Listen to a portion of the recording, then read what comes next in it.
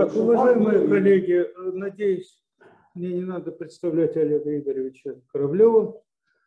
Э, Он у нас уже и делал доклад. Наш семинар посвящен по традициям новым и интересным проблемным э, результатам, которые происходят в астрономии. И пройти мимо новых интереснейших результатов, которые в исследованиях Марса мы не могли, Олег Игоревич любезно согласился нам объяснить, что, почем и что и как. Спасибо и на большое. что можно рассчитывать. Наконец-то жизнь на Марсе все-таки есть или нет? Да, да, я, я, я затрону этот вопрос. Но я не умею включать запись, к сожалению. Она, Работает? А вот тут, вот тут вот красная, это самое. По-моему, она идет. Так. Сейчас мы звоним организаторам. Красное, по-моему, это значит, что идет. По-моему, идет. Там, там было, вот она. Запись включена. Все прекрасно. Запись. Как узнать, что запись включена? Все работает. А, все, спасибо большое, извините. Это Маша Кольцова. Вот, отлично. Так. так. Ну, э, я буду двигаться вперед. Спасибо большое за эту возможность. Я, по-моему, в прошлый раз делал доклад э, э, немножко, так сказать, по более общим темам, а тут, в общем, что-то такое конкретное и то, что сейчас относится к нашему... Э, Еще ну, я буду делать, конечно, такой более сжатый доклад на отделении в понедельник. И, в общем, еще раз благодарен за возможность потренироваться вот. Немножко другой, конечно, должен быть там доклад, но ну, все же. Так.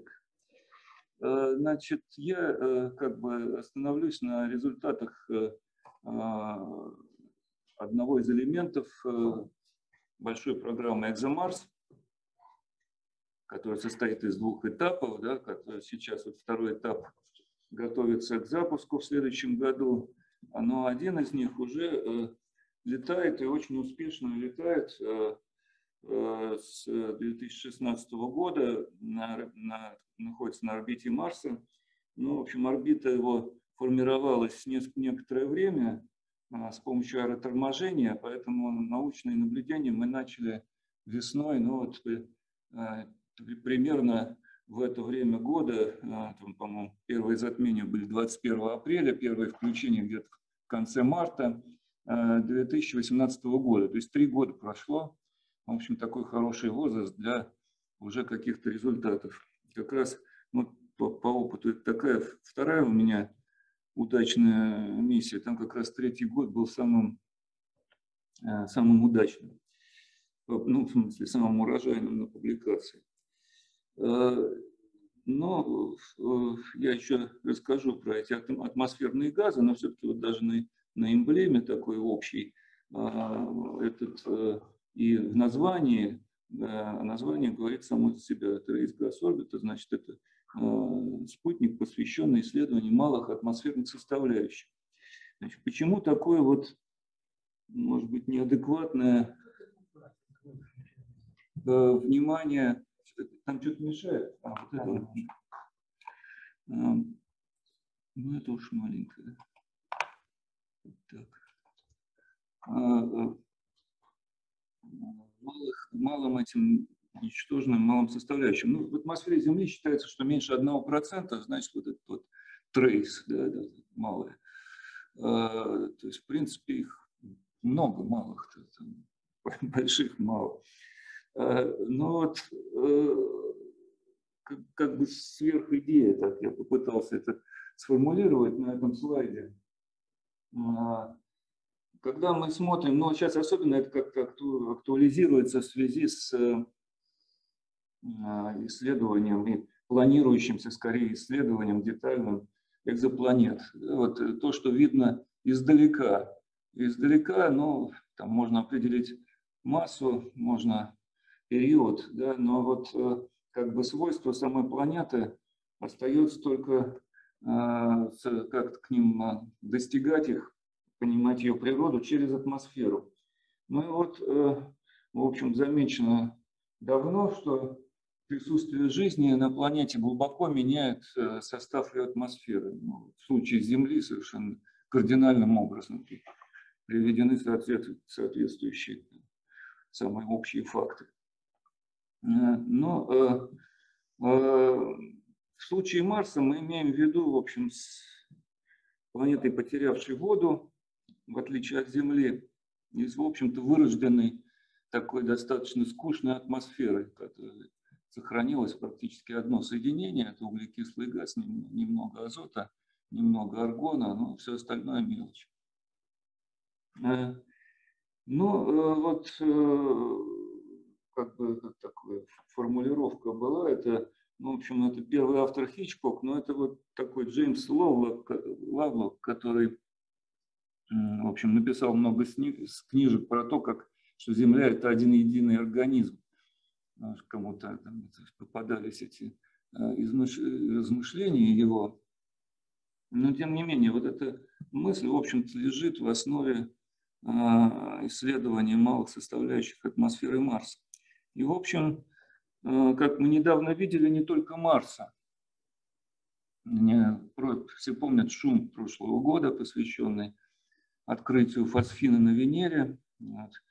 Пресс-конференция Сары Сигар, э, которая рассказывает про жизнь на Венере. Из-за того, что там фосфин, фосфин не, неравновесное соединение, значит, вот, э, его присутствие может указывать на присутствие какой-то жизни в облаках Венеры.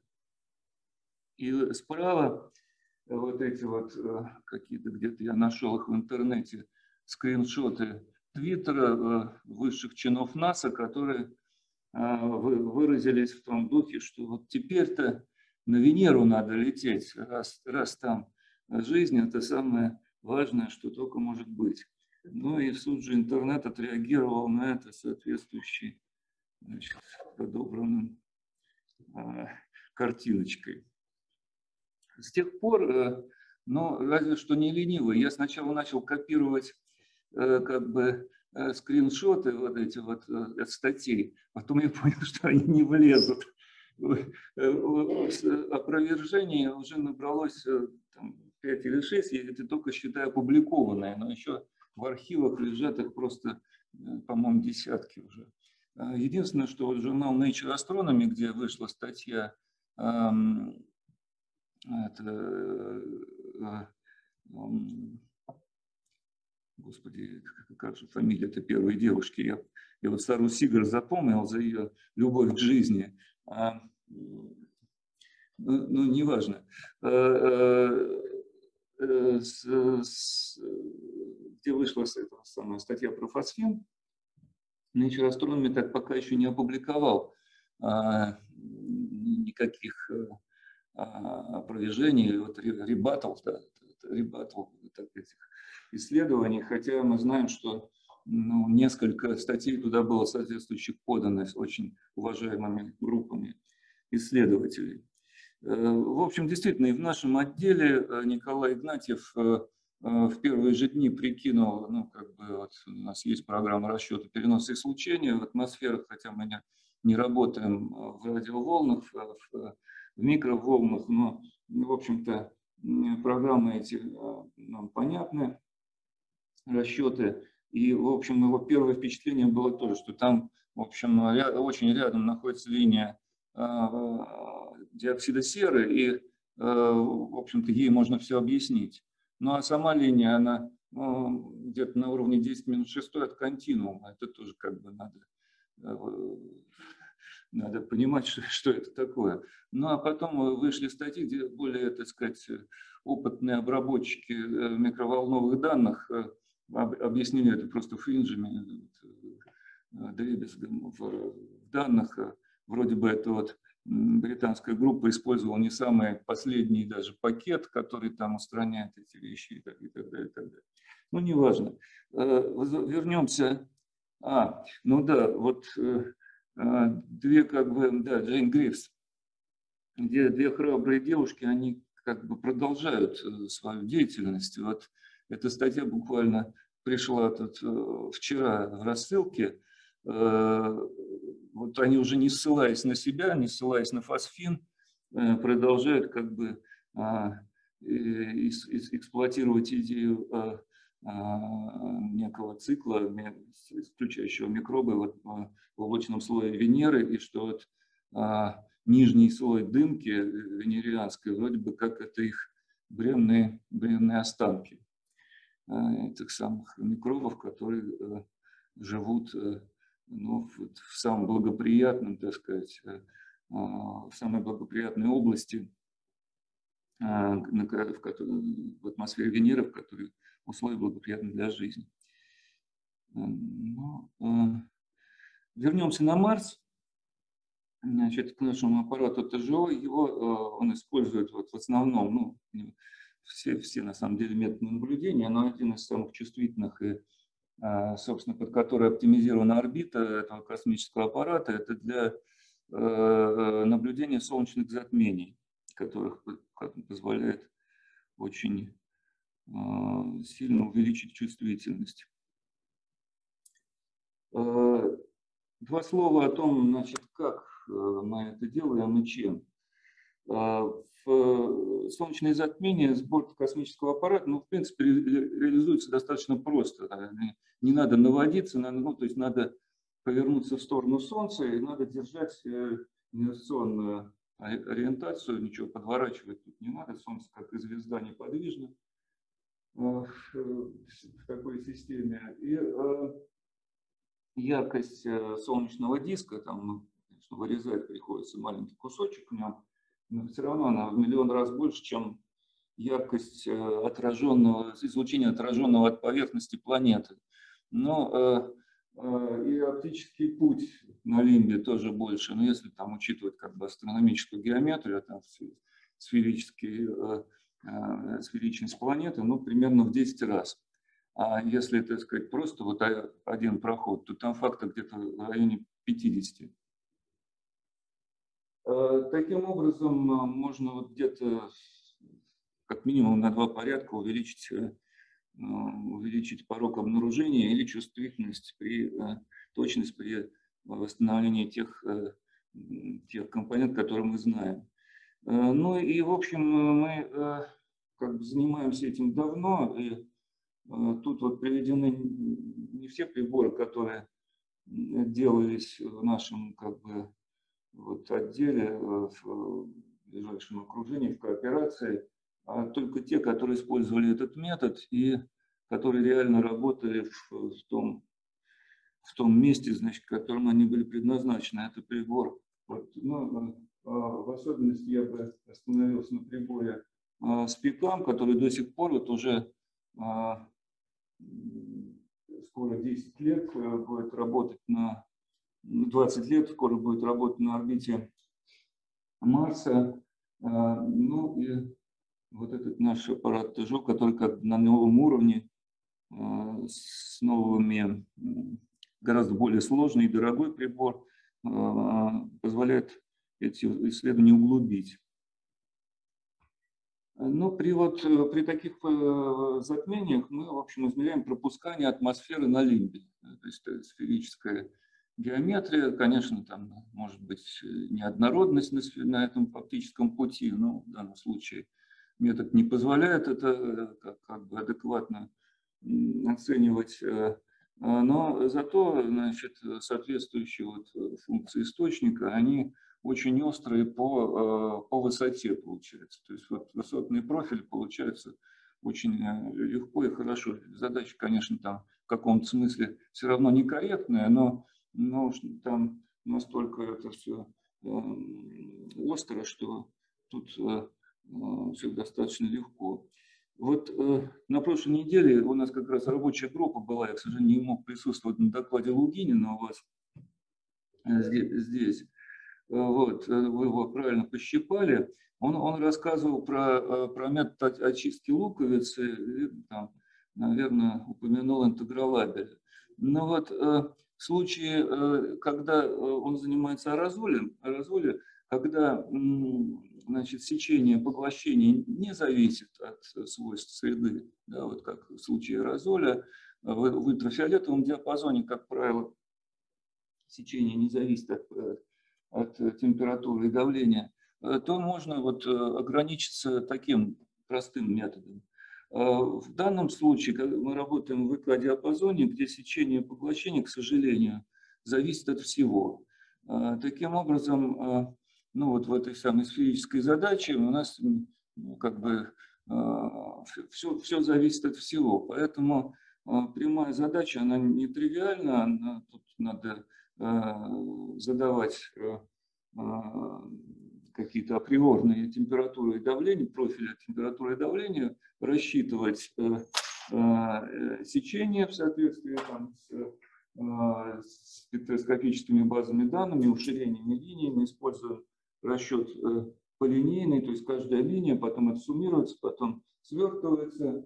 И, в общем, это, конечно, большой такой тяжелый объем вычислений, поэтому для обратных задач э, э, пересчитать каждый раз невозможно. Используются таблицы lookup tables, э, и поскольку параметров много, но это сами компоненты, да, и это температура давления, в общем, эти таблицы получаются многомерными. Это такие задачки, ну, довольно, как, как бы не каждый студент и аспирант, так сказать, в голову это входит.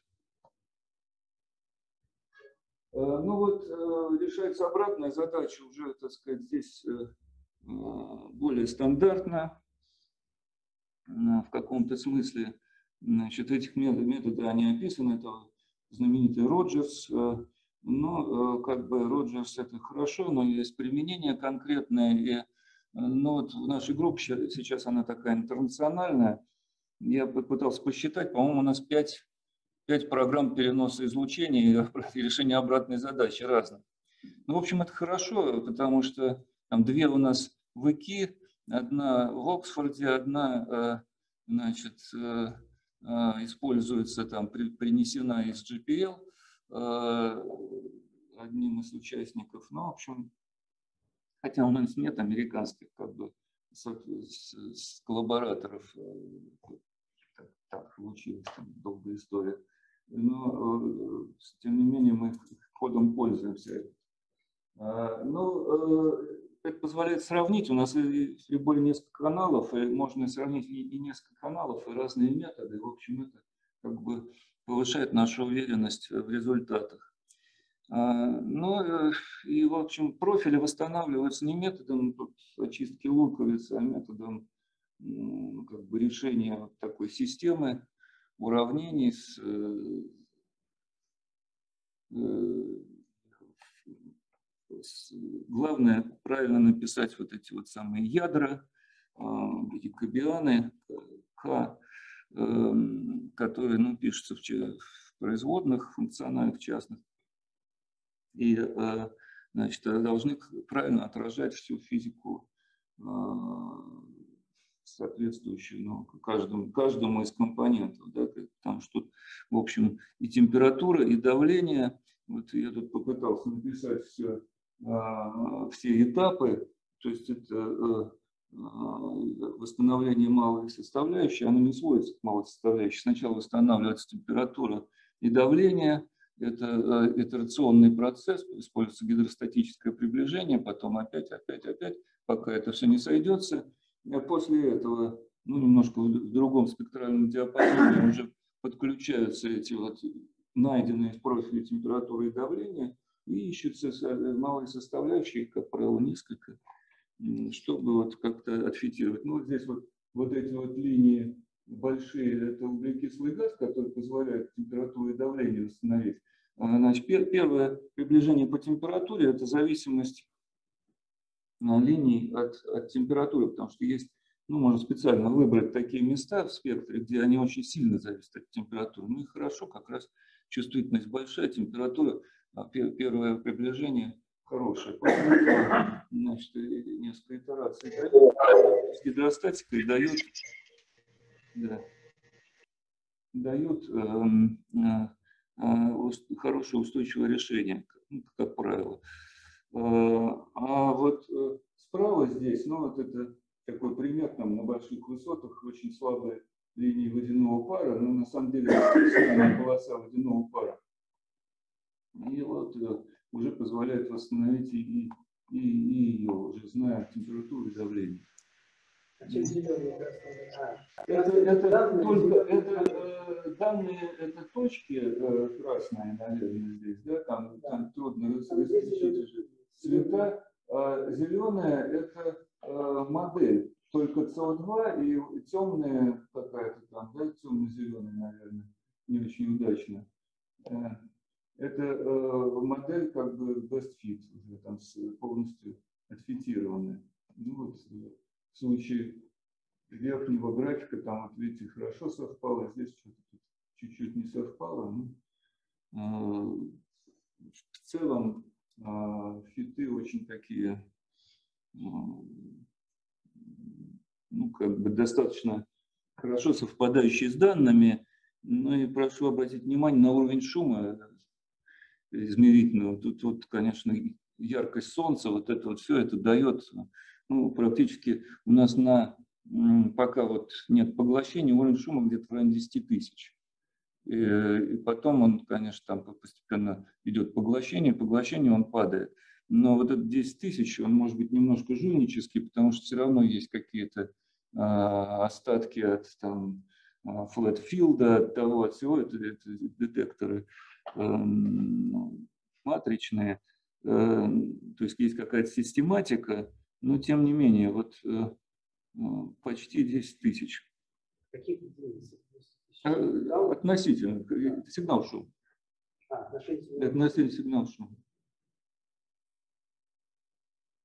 Ну, оно падает к, к тысяче где-то там вот уже, там, где, ну, можно сказать, к двум-трем тысячам, там, где оптимум наблюдения, и там уже потом идет до нуля. А в линии предполагается нулевая оптическая толща. То есть решаем- решается уравнение переноса. Да, да, решается, э, ну, я не привел тут как бы не этот самый монох- монохроматический спектр. Э, Мы э, вот, попытался проговорить это, слова, это словами. Значит, в каждом этом спектральном диапазоне десятки тысяч линий поглощения. Они берутся из баз данных. По- Идет э, расчет там, да, со- соответствующий с, с параметрами атмосферы. А, Все эти линии потом там, они уширяются от температуры, от давления, там так называемый профиль Фойта, да, то есть с комбинацией Лоренца и Доплера. Э, Значит, потом все они суммируются, они там образуют уже какие-то такие, э, даже в, при бесконечном разрешении, да, хроматический спектр так называемый, они образуют уже не, не линии, а некие такие э, структуры. Потом эта вся эта структура свертывается с аппаратным контуром прибора. Прибор у нас, э, ну вот, э, тут как бы два э, на, на орбите сейчас э, спектрометра высокого разрешения используются. У них у одного где-то 25 тысяч, 22-25, у другого где-то чуть больше 30. Там, в общем, э, планировалась э, различающая сила. Пла- Планировалось э, ну, 50, но там немножко испортилась аппаратная функция, она стала там что-то подтреснула у нас. Треснула немножко. Где-то, не знаем где. То ли на старте, то ли вот, ну, вот за это время, пока долетел, пока он там прокрутился э, больше года, вот что-то треснуло, и из функции стало так немножко раздвоилось, поэтому разрешение упало. Но тем не менее, это, это большие значения для бортовых приборов, это, конечно, колоссальное значение. Э, И, и еще есть фурье спектрон, но я сейчас об этом подробно расскажу. Значит, э, вот э, на борту всего этого спутника, вот он как бы летает, у него преимущественная ориентация, конечно, на один, но когда в районе терминатора, он а, становится так, чтобы чуть-чуть подворачивается, так, чтобы соответствующие оптические входы, э, по-моему, там 6 приборов, и наш, и вот бельгийский вот этот вот намат э, работает э, в, по Солнцу. Это действительно такое основное, основное наблюдательное средство. Общем, Дважды за орбиту Да, вот дважды за орбиту он подворачивается. Да, притом, ну, немножко. Там сделано так, что э, эти входы, эти как бы оптические окна, они находятся под, под таким углом, чтобы ему чуть-чуть повернуться вот, в соответствии, потому что орбита круговая, и э, этот угол, он при- примерно известен, вот, чуть-чуть там, да, там. Э, и, и- и- стоит, и стоит, пока не, пока не пройдет затмение. А потом возвращается в, в надежную ориентацию. Но солнце у вас не точка, у вас размеры. У него размеры, мы- Если вы хотите задавать вопросы, вам приход- придется выходить. Мы, мы, мы И, и не докладчику повторять. быть. Да, э, вопрос, что мы делаем с Солнцем, у которого угловой размер на Марсе 21 секунда примерно. А, Значит, э, там меняется, потому что орбита Марса э, эллиптическая. Э, Значит, э, э, мы формируем поле зрения, и оно, в общем, маленькое. Мы формируем это, э, у спектрометров есть щели, как, как всегда, как и у всех спектрометров. Да, да. Э, Значит, э, спектрометр у нас состоит из трех каналов, в общем, э, разной степени, ну, как бы такой вот технологической готовности они имели на, на момент э, предложения, но тем не менее, в общем, все удалось, их удалось сделать. Э, Это, э, значит, два э, спектрометра на ос- на основе шили решеток плоских, э, больших, там довольно редко нарезанных, э, работающих в высоких поряд- порядках дифракции, и фурье спектрометр. В общем, в основном для работы в тепловом диапазоне инфракрасного излучения.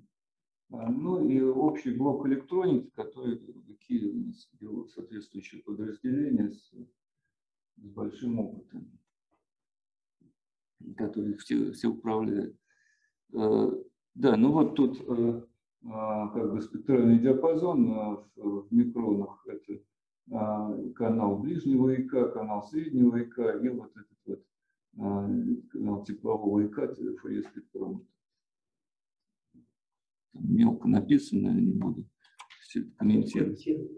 Тирвин, э, те- тепловой инфраред, э, термоинфраред, э, а а потом, но эта группа э, как бы унаследованная, наследовавшая э, работы Василия Ивановича Мороза, они, так сказать, его увековечили вот э, Тирвин Василий Иванович Мороз. А, Да. Морозов. Ну там в начале там было что-то V-shape, там какой-то, я, я уже забыл, там как- как- какая-то, э, был какой-то заменитель, э, но э, значит, на самом деле было так. Вот на этой фотографии, как бы прощальной на заводе в Каннах, два прибора, вот другой экранно-вакуумной изоляции, не, не черный, а золотой, это значит наших Ходьковская изоляция, она почему-то была золотая, а у европейцев вся, вся, вся остальная черная, А, значит, э, австрийская. Э, И вот это оптические входы нашего прибора, в общем, тут мало чего видно, все, все закрыто э, этой самой FT. Так, ну, быстро про, про Марс, так сказать, чтобы это заведение не затягивать. Э, Климат Марса, в общем, похож, похож на Землю из-за наклона оси, э, но осложнен э, двумя факторами. Во-первых, эллиптичностью орбиты вокруг Солнца, во-вторых, несимметричностью очень такой су- существенной вот этой дихотомии полушарий Марса. То есть там меняется и солне- и инсоляция, и меняется режим циркуляции из-за того, что вот, просто форма, форма планеты меняется. Ну, на Земле это, так, так сказать, тоже несимметрично из-за того, что океана больше э, в южном полушарии. А на, Марсе вот просто сам, сам шарик совершенно не шарик, такая гру- грушка. Там северное полушарие ниже, существенно ниже южного. Э, Но э, атмосфера э, конденсируется, да, что вот на Земле нам не знакомо, а, причем так массивно конденсируется, хотя атмосферы самой не очень много. Ну, Есть э, соответствующий значит, снег выпадает сезонно на полярные шапки. И значит, нагрев атмосферы, вот, если на Земле он в основном регулируется водяным паром, и это, в общем, саморегуляция некоторая, а, то на Марсе он регулируется пылью, поднимающейся в атмосферу. Это, это в общем, непонятно. Регуляция – это скорее такая какая-то хаотическая система, которая то, то срывается вот в полевую бурю, то значит, э, некоторые годы нет. Но в целом э, сезон, когда вот Марс ближе к Солнцу, всегда более пыльный, чем сезон, который более пыльный и теплый, чем сезон, который Марс дальше от Солнца.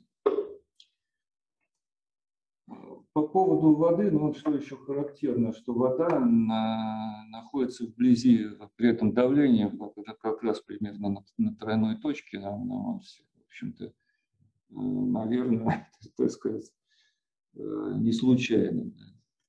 На недолгом геологическом масштабе это, в общем, понятно. На Марсе в двух словах просто. На Марсе где-то по подтвержденным данным около 30 метров воды, если размазать их по всему шарику а, ровным слоем, таким океанчиком мелким, 30 метров.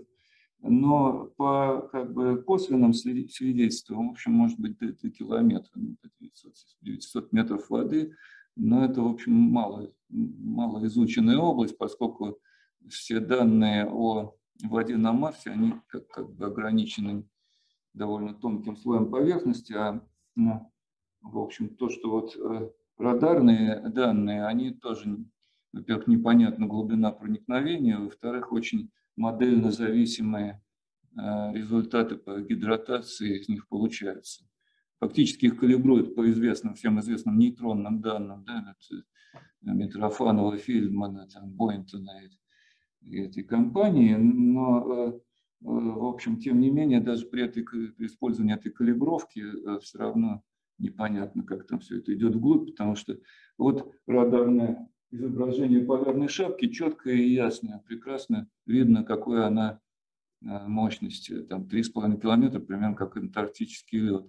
А когда, когда нет льда четкого, то и нет четких интерфейсов, и, и непонятно, что, в общем-то, это, эти сигналы несут нам. Ну и сегодня известная гипотеза теплого раннего Марса основана на том, что в рельефе присутствуют а, как бы э, следы обильной жидкой воды на поверхности, хотя там были э, шатания, колебания в разные стороны.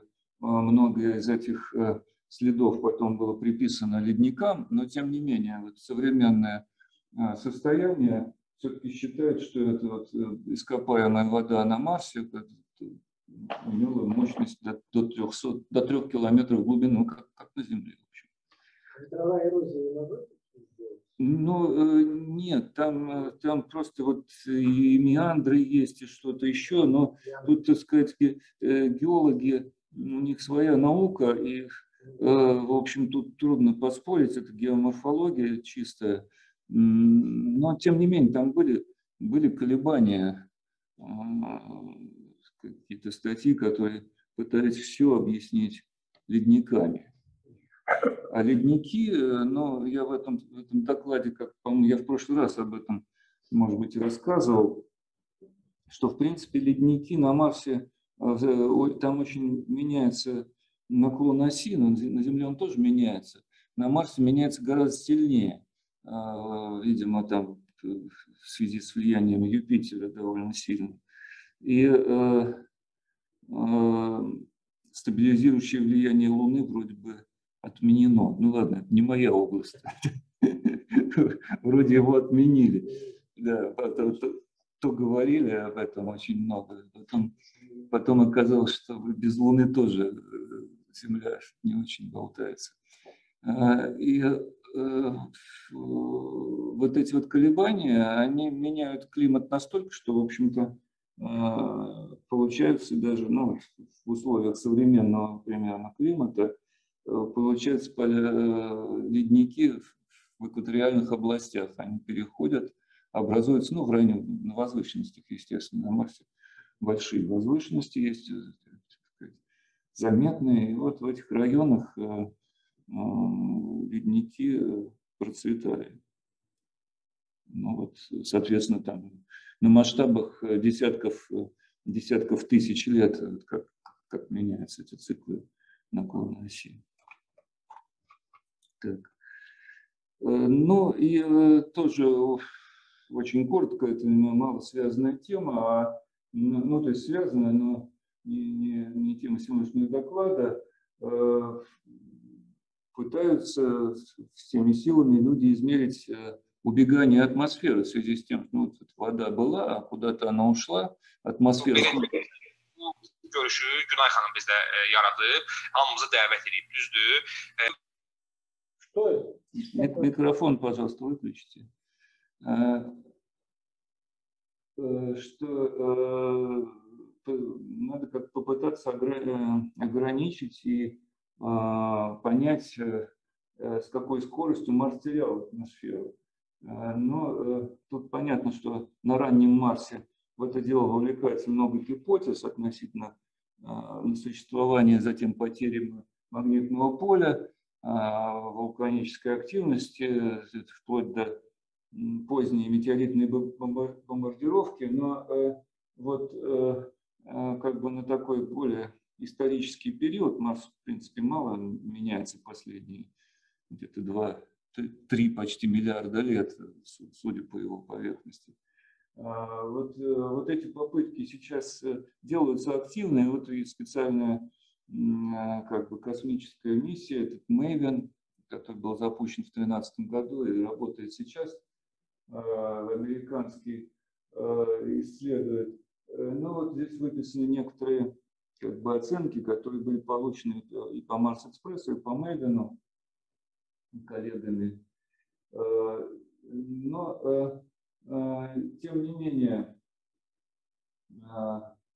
пока что все это, в общем, не, не сходится с большими уровнями, большими объемами воды, которыми вроде бы обладал ранний Марс. Значит, э, ну, скорее всего, она на нем осталась, либо что-то здесь совсем шло не так тоже вначале. Э, Ну, интересный да, факт – это отношение дейтерия к водороду. На Венере он примерно э, к 200 приближается, да, это обогащение тяжелым изотопом. Очень большая разница в, в атомном весе двух изотопов, поэтому тут все это выпукло предстает. Э, Но на Марсе это обогащение где-то пять раз, поэтому ну, вот исходя из этого, из этого можно, можно судить, что Марс всего лишь там 150 метров воды потерял. Не так уж как бы и много. И, а, в общем, вот тут уже в эту вил, вилки каких-то оценок это попадает. И э, теперь, значит, два сюжета, которые я выбрал из результатов э, наших, наших измерений, в общем, чисто, так сказать, э, из собственных личных э, корыстных э, то, что мне больше нравится, в том, что чем я больше, может быть, участвовал лично. А, Во-первых, э, вот исследования, которые мы сейчас проводим, позволяют очень детально характеризовать водяной цикл. И а, вот э, сейчас такой как бы вопрос стоит, э, полевые бури, глобальные полевые бури или, или сезон а, ведет за собой вот этот вот э, ам, увеличение, увеличение эм, э, эм, диссипации водорода и э, сопутствующие, точнее, предшествующие ему а, доставку воды в высокие области атмосферы. То есть мы пытаемся вот э, уже там некоторое количество лет а, пытаемся сейчас связать верхнюю атмосферу, это Лайман альфа, водород, а, который там собственный водород планеты, который люди пытаются отделить от, от Солнца, от, от всего остального. В общем, это непростые задачи сами по себе, это зависит, зависит от всего чего угодно, Лайман, свечение Лайман альфа. И э, ну, такую нейтральную атмосферу, где э, водяной пар, как выяснилось, проникает очень высоко в определенные периоды. Сейчас я об этом скажу чуть-чуть подробнее. Так, что тут надо сделать? Перестал реагировать. Э, первые, как бы, э, первые... Сейчас первая демонстрация. Ой. Зеленая. Ага. Вот это я никогда не мог понять, вот что это значит. В. Я на лекциях на это, на это часто, часто натыкаюсь. И... Ну, там, там что-то такое да, залипает, и у и слушателя остается один слайд. Да. Э, и э, значит, первые э, как бы звоночки к этому были то, что действительно вот корона водорода, Лайман альфа, меняется достаточно быстро. Вот, та, та, которая приписывается именно, именно планете Марсу. А, и э, все э, модели, которые где-то с 70-х годов, в общем-то, разрабатывались на эту тему, они говорили, что ну вот на самом деле вода не может э, достичь больших высот. На Земле она не достигает больших высот. Там, есть э, тропопауза, там холодная ловушка, на ней образуются облака, вода конденсируется, все выпадает дождичком, никуда вверх не идет. Верхние слои атмосферы очень сухие. Ну и на Марсе это также должно быть. В общем. И в общем это как бы в этой концепции вот э, я тоже там как бы писал статьи там когда-то, кандидатскую диссертацию писал. Вот у нас там, да, вот у нас э, высота конденсации водяного пара, пара на Марсе до этого профиля идет вот так, потом ну, все, какая-то постоянная концентрация, очень маленькая остается, ничего, ничего туда больше не проходит. А это, значит, вот, так называемая гидропауза, которая, ну, дальше которой вода идти не может. Э, ну вот э, сейчас, когда появилось много данных, не не там 9 профилей на космическом аппарате Фобос. Это, в общем, были первые такие реальные измерения воды, э, профиля воды. А сейчас появились эти тонны этих данных. Мы видим и э, одновременные, достаточно надежные измерения температуры, которые получаются, как я вот рассказывал. Э, мы видим, что на самом деле вода проникает очень высоко. И мы видим, что в общем, а, вот эта вот гидропауза, она может быть и есть, но она как-то прозрачна а, в том смысле, что вода перенасыщается, э, вроде бы образуются облака, мы облака тоже видим, но тем не менее вода все равно проходит вверх и практически всегда, и практически легко. А, в общем, я сейчас покажу вам это. Э, вот э, модель, которая была э, сделана, это, это Паркинсон и Хантон, например, там 72 год, она говорит о том, что ну вот раз вода не может поступать, значит нужен какой-то другой механизм. Вот можно с помощью фотохимических реакций получить молекулярный водород, э, это медленный процесс, он получается из воды, где-то на средних высотах, получается постепенно э, турбулентным образом поднимается вверх, диссипирует, и там, там диссоциирует, и получается Лайман альфа. Этот процесс э, со временем, характерным временем, где-то там годы, там десятки лет. Очень медленный процесс. А тут оказывается, что вот раз за, за это вот, э, вот эти циферки здесь э, называется аэроцентрическая солнечная долгота, ну, в общем, сезон. Отчитываться от, весеннего равноденствия и как бы сезон на Марсе. месяцев на Марсе нет. Поэтому в градусах, вот 360 градусов сезон на Марсе.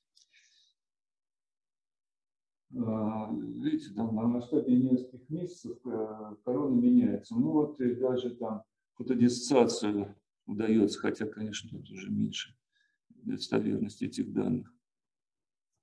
И это зависит от сезона, да, напоминаю. В высоком сезоне, там, где он уже всего, да, там вроде Там и получается. там получается, да. Ну, а не связано с тем, что там Вот, вот, да, вот поэтому это во- вопрос как бы стоит.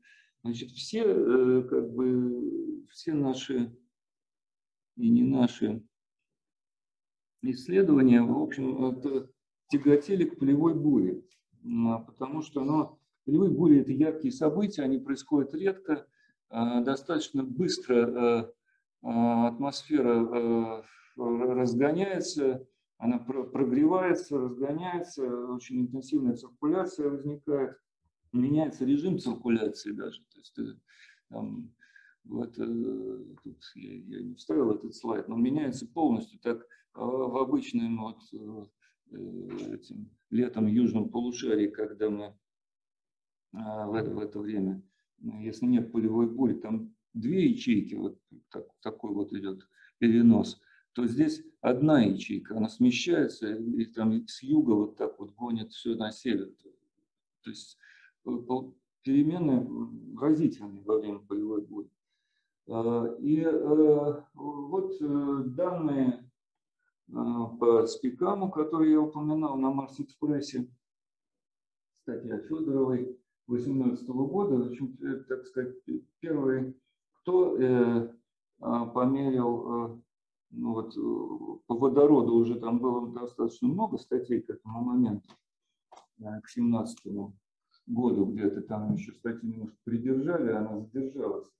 Э, Но вот, э, но по, по воде не было. Ну вот первые прямые измерения, действительно вода совершенно пикирует, выходит на, на высоты ну, там, 70 километров, э, даже 80. Э, Но этот прибор все-таки на Марс-экспрессе не очень чувствительный, поэтому м, там ошибки больше. Э, Значит, э, это э, уже, так сказать, развитие тех же данных. Вот здесь все, ну, все измерения взяты. Э, Попытка свести это на один график. Тоже сезон Марса, вот этот вот самый теплый, теплый сезон, вторая половина года. И э, несколько полевых событий. Попало два полевых событий, так называемый марсианский год 28, это седьмой год, 2007, и марсианский год 34, это вот 18 год, как раз когда прилетел тоже, он прилетел в полевую бурю. Э, Она, она раньше, да, но примерно тот, же сезон. А, а сам пик сезона, вот он впереди. Э, Ну и вот э, тут еще наблюдался региональный шторм, я не помню какого года, там, по-моему, 33-го. А, Тоже как бы здесь немножко в другом виде представлено, на какую высоту, на какой высоте зарегистрирована вода. Ну, До 100 километров доходит. Это все еще Марс-экспресс. Ну вот так вот выглядела полевая буря вот, э, летом 2018 года, как раз то, что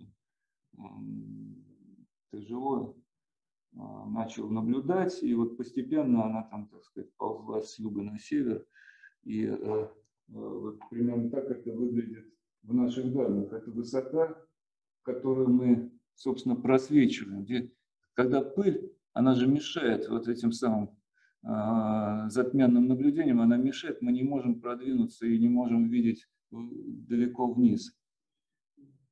А, С одной стороны интересно, да, с другой стороны она мешает, там, например, измерять метан. Ну вот э, здесь высоты 50-60 от 10 до, до 60 километров. То есть пыль очень высоко выстреливает. Э, ну, это же мы вначале использовали данные одного из спектрометров, вот, который я показывал, это от эшеле спектрометров с фи- с фильтрацией порядков при помощи акустооптического фильтра. Ну, то есть один порядок за раз. э, так сказать, фильтр перестраивается, потом это в секунду вот этот, этот прибор, этот данный конкретный прибор, за секунду он измеряет 10 таких разных порядков в разных местах, ну, которых интересно, а, а самих их там сотни, знаете.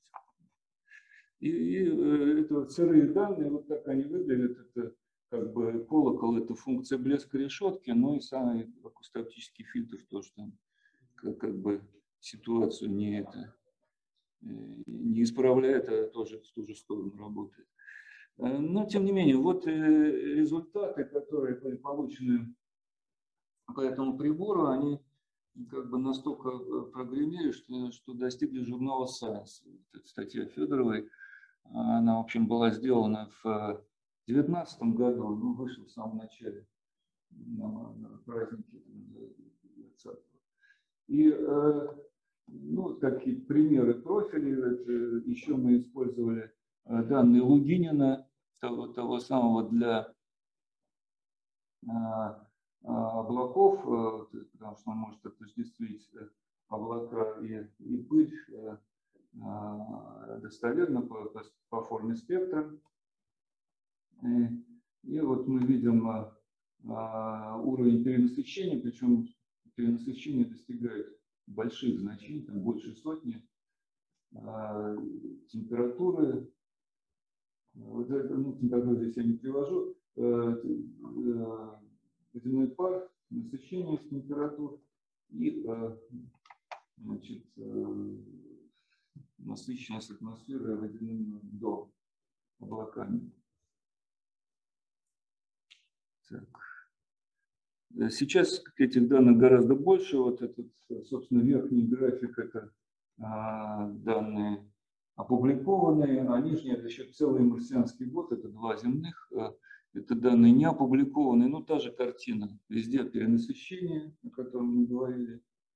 Вот это все бордовое, коричневое, это перенасыщение. А, а это вот поднятие воды. И тут вот мы видим как бы да, какой-то вот намек на гидропаузу, потом еще один слой воды, который глобально виден, потом видим еще одна гидропауза. А в южном полушарии вообще-то этой воды просто море, тонны. Э, по, друг, по другому каналу значит, работы, а, там, посвященные отношению дейтерия к водороду, но э, там, в принципе, тот же ряд используется, и э, работа Беляева, которая Хуан Алдей, тоже уже принята в Nature Astronomy, и Беляева сейчас на лицензии, по другому каналу он пробивая где-то до 120 километров профиля воды, восстанавливает. Та же картина, все это подтверждается, все эти профили мы между собой сравниваем. Э, но э, моделирование, одномерные модели, такие простенькие, э, говорят о том, что вот, наиболее эффективно вода уходит с 80 километров, ну, потому что выше просто плотность уже мала, а, а ниже фотодиссоциация идет э, недостаточно эффективно, потому что главное это уже плотность СО2, которая съедает ультрафиолет весь на Марсе, э, становится тоже достаточно большой. Где-то на 80 километров, километрах э, оптимум. Но это одномерная модель, конечно, как мы видим, вот насколько дышит атмосфера во время этих событий, в общем, трудно здесь применять одномерные модели. Но, тем не менее, это для ориентировки. И вот э, да, э, как бы сравнение, прямое сравнение воды э, в нижней атмосфере и воды и водорода в верхней атмосфере. Данные ТЖО, ну, тут два прибора взяты, и данные Мейдена. А, к сожалению, вот ну, Мейден до сих пор, люди, работающие на Мейден, до сих пор испытывают трудности как бы с очисткой Лайман Альфа данных. Фазовый угол меняется, меняется, значит, у него орбита достаточно сложная у Мэйвина, потом меняется поток солнечный, все эти факторы влияют очень сильно. И, в общем, прикладываются большие усилия. Вот эта вот работа Майка Шафина, он как бы обещал уже несколько лет, как обещал, сделать ну, некий однородный ряд из, из Лайман альфа данных, но не сделал. Там, похоже, сделают другие люди уже, там, не имею права показывать, к сожалению, эти графики. Но вот он нашел место, где у него хорошо очистилось. И это место совпало с э, таким локальным полевым событием, региональной полевой бурей. А, вот как, как, как конец 1934 года на Марсе. А, к сожалению, вот там как в 1934 году у нас так получилось, что вот в наших данных дыра на этом месте. И, и, в, и в большую полевую бурю у нас как раз в самую бурю дыра. Дыра связана с тем, что ну, просто конфигурация орбиты э, становится, плоскость орбиты становится в сторону Солнца, и все, и все, значит, затмений в это время нет. Либо они такие вот какие-то касательные, длинные, там с ними тоже очень трудно иметь дело, потому что огромные расстояния в атмосфере по горизонтали они, они просвечивают. Но, э, тем не менее, вот мы видим, как вода возрастает перед этой бурей, мы видим, что тут ее тоже довольно много еще, все еще. До этого нет, и после этого нет. Ну и все другие э, данные показывают, это, э, это Mars Reconnaissance Orbiter американский прибор, который меряет просто не фотометр, а радиометр инфракрасный, пыль, э, водяные облака и температуру. Как, как меняется значит, ситуация глобально. Вот такой первый, первый вариант прямого сравнения. И, в общем, вот э, то, о чем я как бы начинал говорить, э, ну, возникает некая новая парадигма, новая концепция ухода преобразования воды в водород, э, воды в нижней атмосфере, в водород в верхней атмосфере, без участия вот этого длительного цикла, который включает а, молекулярный водород и его диффузию вверх, ну или там а, вознесение да, с помощью а, общей циркуляции. Значит, здесь это а, предполагалось, и всегда это в этой концепции все жили, что поток этот э, абсолютно постоянный и ничего его не может поколебать, поскольку столетний где-то цикл, вот это время жизни, время, характерное время этого процесса, реакции, которая а, создает, а, переносит водород и а, создается молекулярный водород. А здесь ну, любая, как бы, любое движение, оно приносит в нижней атмосфере, оно приносит воду, и тут же реагирует верхняя атмосфера. Но вот э, то, что я, к сожалению, не могу показать, там тоже это наши коллеги из Мичиганского э, университета, они хотят, из Бостонского, извините, э, университета, они хотят это опубликовать в высокорейтинговом журнале, и, и действительно уже очистили довольно много данных по Лайман Альфа, вот там, там в Мейвине есть такой спектрометр высокого разрешения, Шиле спектрометр. Э, они очистили этих данных много, и там видно, ну, ну тоже немножко рваный, как всегда, нет, совершенство, немножко рваный такой набор данных, но, но видно, насколько они как бы пляшут вот с, каждым, э, с каждым событием, они реагируют. И именно в этот сезон. Ну и последний слайд как бы в этом направлении. Э, результаты Беляева, о которых я уже говорил, он достиг э, в измерениях воды высот 120 километров.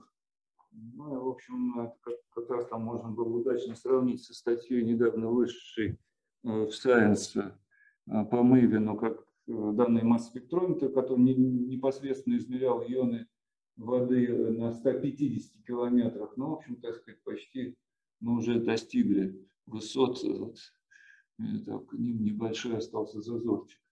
И э, его данные тоже, как бы он построил такие усредненные профили, вот, может впервые, и, и перекрыл два, два сезона где-то в южном полушарии одну полевую бурю.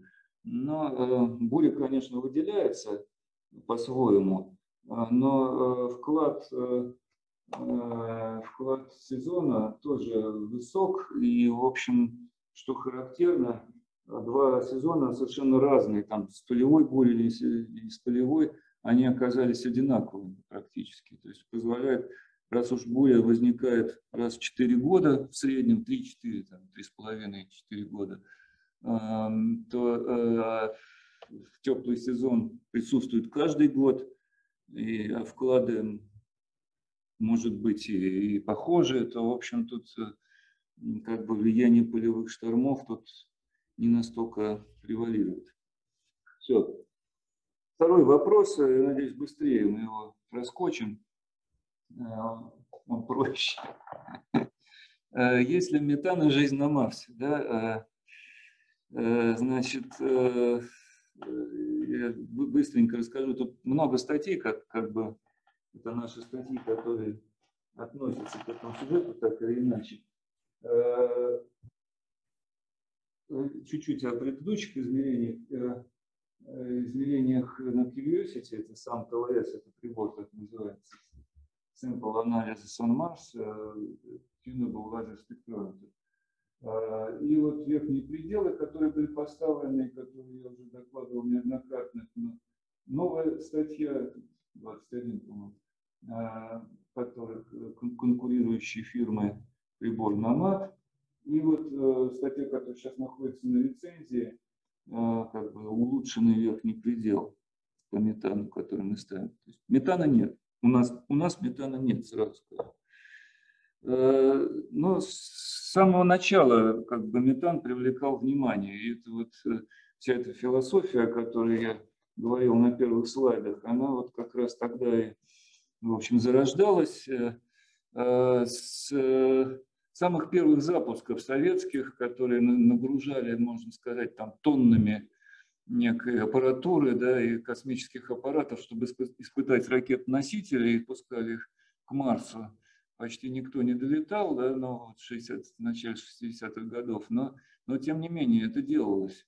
И, и всегда был спектрометр инфракрасный на полосу вот эту вот э, э, CH э, связи.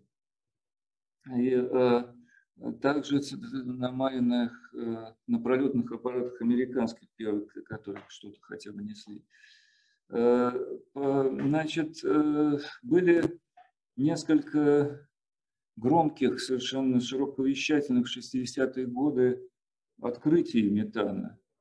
А, Но ну вот, что, что интересно, вот эти вот оба, оба открытия, там и э, Читы Кон и Каплана, значит, и Марина седьмого, они оба перепутали полосы метана и полосы твердого, твердой углекислоты.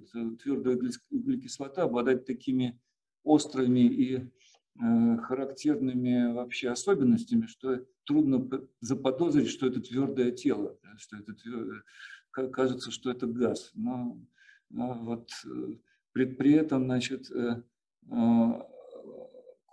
конные это в фурье спектрах в полосе вот Бертона искали на одном из 6 микрона, а Малинер 7 в, в, в полосе фундаментальной на трех э, с лишним микрона. Тем не менее, и там, и там есть полосы СО2. Его оба раза перепутали. Был, была страшная шумиха в американских газетах, э, открытие жизни, но потом э, соответствующее закрытие, хотя без, без лишнего шума уже. Было множество, начиная с Маринера 9, были установлены достаточно хорошие уже верхние пределы.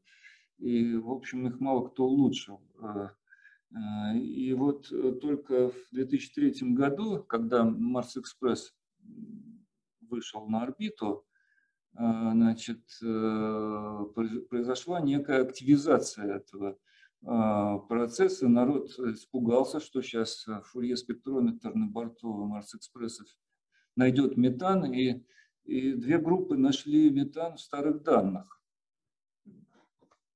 астрономические. Это были Краснопольские и МУМА.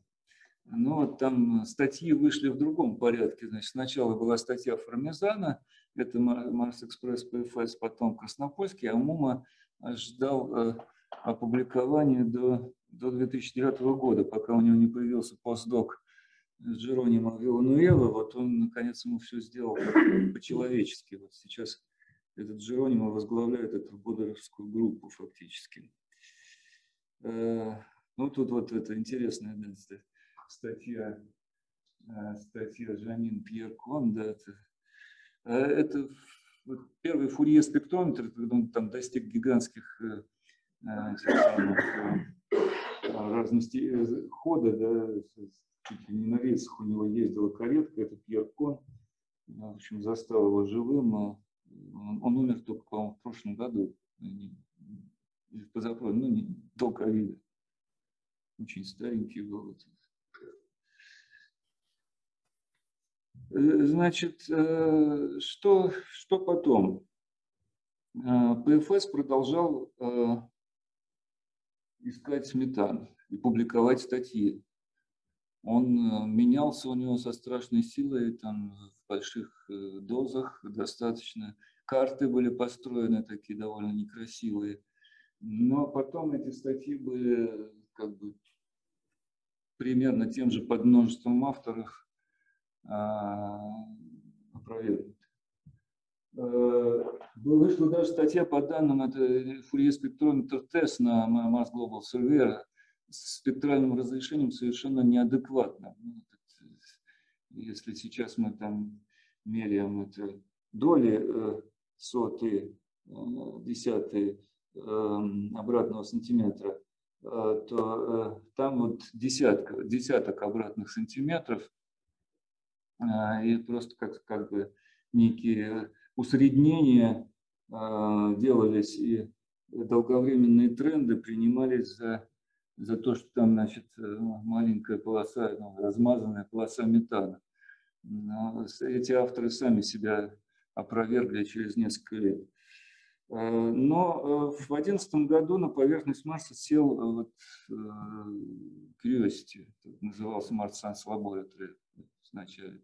На борту Tunable лазер спектрометр, да, вот часть этого большого огромного пакета sample анализа от Марс. Он закачивает воздух к кювету, и в этой кювете длиной примерно 16 метров, многопроходная а, система, есть несколько лазеров, и один из лазеров специально настроен на, на одну из э, там, пакет, так, у метана такие пакеты из, из нескольких линий, вот они очень характерны в атмосфере Земли, да, все, э, астрономы знают все это прекрасно, они такими палками торчат, но вот эти пакеты, э, лазерный спектрометр обладает бесконечным спектральным разрешением, поэтому там разрешаются все, все эти линии. Э, и вот он их э, измеряет. Значит, в первой статье Вебстер э, 2013 года метан обнаружен не был, а потом вот в 2015 году, что, в общем, потом вызвало некие издевки, там значений из статьи 2013 года поменяла знак, появились новые значения, но, в общем, так сказать, метан появился. И э, дальше пошла счастливая, новая счастливая жизнь. Вот в 2018 году был обнаружен, э, делались уже э, измерения с обогащением, то есть вот это вот то, что тот воздух Марса, который нагнетался в кювету, он прогонялся еще через поглотитель последовательно так, и постепенно из него удалялся СО2. СО2 в атмосфере примерно 95%, поэтому, в общем, в пределе можно в 25 раз э, увеличить концентрацию всех других газов. Ну, там, может быть, еще какие-то активные газы, будут искажены, но, тем не менее, метан явно в этом смысле не активен, и его, э, так сказать, содержание должно было бы увеличиться в 20, 25 раз. А, и вот эти вот э, измерения с обогащением, они дали ни одного большого значения, но много маленьких значений с маленькими ошибками. И это так называемый фоновый метан. Это был названо фоновым метаном, и у него такой ход э, сезонный э, появился. Хотя эти точки ставились не каждый год. Так сказать, раз ну, оно попадало в сезон, но измерялось в разные годы марсианские. Измерения все-таки вот надо сказать, э, проводятся очень редко эти sample анализис. Видимо, они, я уж не знаю, почему они проводятся так редко. Как-то они дороги чем-то. Вот, нельзя себе позволить проводить их очень часто. Но, правда, вот статистическая достоверность этого вот, этой кривой, она была тоже опровергнута. Люди, так сказать, не, не стесняются, извините, как это обратно вернуть, эм, э, не стесняются писать статьи опровергающие. Э, но что осталось? Вот, в итоге остались статьи э, Краснопольского, Фурмизана и Мумы, хотя, в общем-то, они получали критику и и Формизана, и Краснопольский. ТВС, значит, э, у них там есть э, антагонист э, Кевин Занле и, группа, в общем, достаточно уважаемых, то есть очень уважаемых ученых, там включая Дэвида, Дэвида Катлинга, которые их опровергают. Но что самое занятное, значит, в 2019 году вышла статья, там после долгих мучений вышла статья а, группы ПФС, уже Фармезана был, э, уже его не было в живых к тому времени, это его племянник, э, значит, принял руководство населительным прибором э, Марка Джурана, и, значит, статья, которая использовала наблюдение point spot function, point spot observation, то есть они, аппарат наводился на одну точку, и вот пока он двигался по орбите, значит, все время он смотрел в эту точку. Эта точка, ну, понятное дело, кратер Гейла, где сидит Curiosity. И вот таких наблюдений было специально сделано много, э, и, в общем, э, не, не всегда они там, так сказать, как правило, э, метана они не видели, но вот какой-то раз они вроде бы увидели метан, и это было несколько дней после какого пика, который наблюдал Curiosity. Вот это вроде независимое подтверждение, хотя, конечно, данные ПФС не очень, а, метан виден не очень хорошо, очень мягко выражаются. Что я это знаю, потому что у нас в группе есть э, ближайший коллаборатор Формизана, который подписал эту статью 2004 года, но потом очень переживал. Говорит, я, я был молодой, я не, я не придал этому значения. Я им сказал, что метана нет, но статью подписал. Ну, э, так, такая ситуация. Значит, э, э, вся эта история, она происходила на, на основе, на фоне того, что ну, все фотохимические модели, несмотря на усилия многочисленных лабораторных групп, найти какой-то механизм, который быстро бы э, разрушал метан в атмосфере, похожий на атмосферу Марса. Ничего этого найдено не было, и э, современное понимание все равно э, приписывает метану в атмосфере Марса время жизни порядка 300 лет, 300-350 лет. Таким образом, колебания метана, которые ну, от, от измерения к измерению а в пределах одного, одного даже набора данных, э, там э, эти самые выбросы, которые наблюдали, вот э, первая статья МУМа, это астрономические наблюдения, тоже никем как бы не критикованная пока. А, но вот они не вписываются в эту картину. Метан, э, атмосфера Марса перемешивается на масштабе нескольких месяцев, э, даже месяца скорее, э, перемешивается полностью к циркуляции. Даже самые как бы за, за, глухие углы вот, в поверхностных областях. Но э, тут э, как бы э, этот, э, все, все большое внимание привлекало, поэтому были сделаны соответствующие картинки, но не, их не очень удобно разглядывать. Вот э, проще посмотреть на такой график. Есть несколько измерений верхних пределов. И вот э, тут красные точки – это а, те измерения, которые были вот, позитивные. И вот это как бы эпоха уже Curiosity, вот все эти красные точки – это данные Curiosity.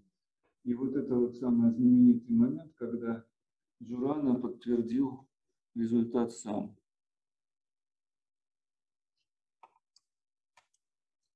Мы используем для, используем для измерения метана Ишеле спектрометр со скрещенной дисперсией. Это достаточно уже такой прибор крупный, ну, не на масштабах астрономических спектрометров, которые занимают два стола как минимум, да, тут, тут такая коробка, ну вот, а, так, так, ну, нет, меньше метра, меньше метра. Да. Э, длина решетки где-то 25 э, сантиметров. И видите, там места совершенно нет, значит, используется а, Ричи Кретьен, чтобы получить коллиматор внутри спектрометра. Ну, это такова наша как бы космическая жизнь. Э, это, ну, а мы тут работаем в очень высоких порядках, где-то порядка 200-300, и э, для того, чтобы перекрыть диапазон спектральный, ну, недостаточно одной матрицы, и поэтому используется вот вторичная э, дисперсия, система вторичной дисперсии. Там две дифракционные решетки, а, либо одна, либо другая, и еще, так сказать, меняются углы. Поворотное устройство, которое может перевернуть эту решетку и, и, и поставить любую из них под, под нужным углом. И, значит, соответственно, у нас там какой-то такой внутренний жаргон, там есть 21, по-моему, позиция, ну, там какие-то из них мертвые, а, ну, неиспользуемые.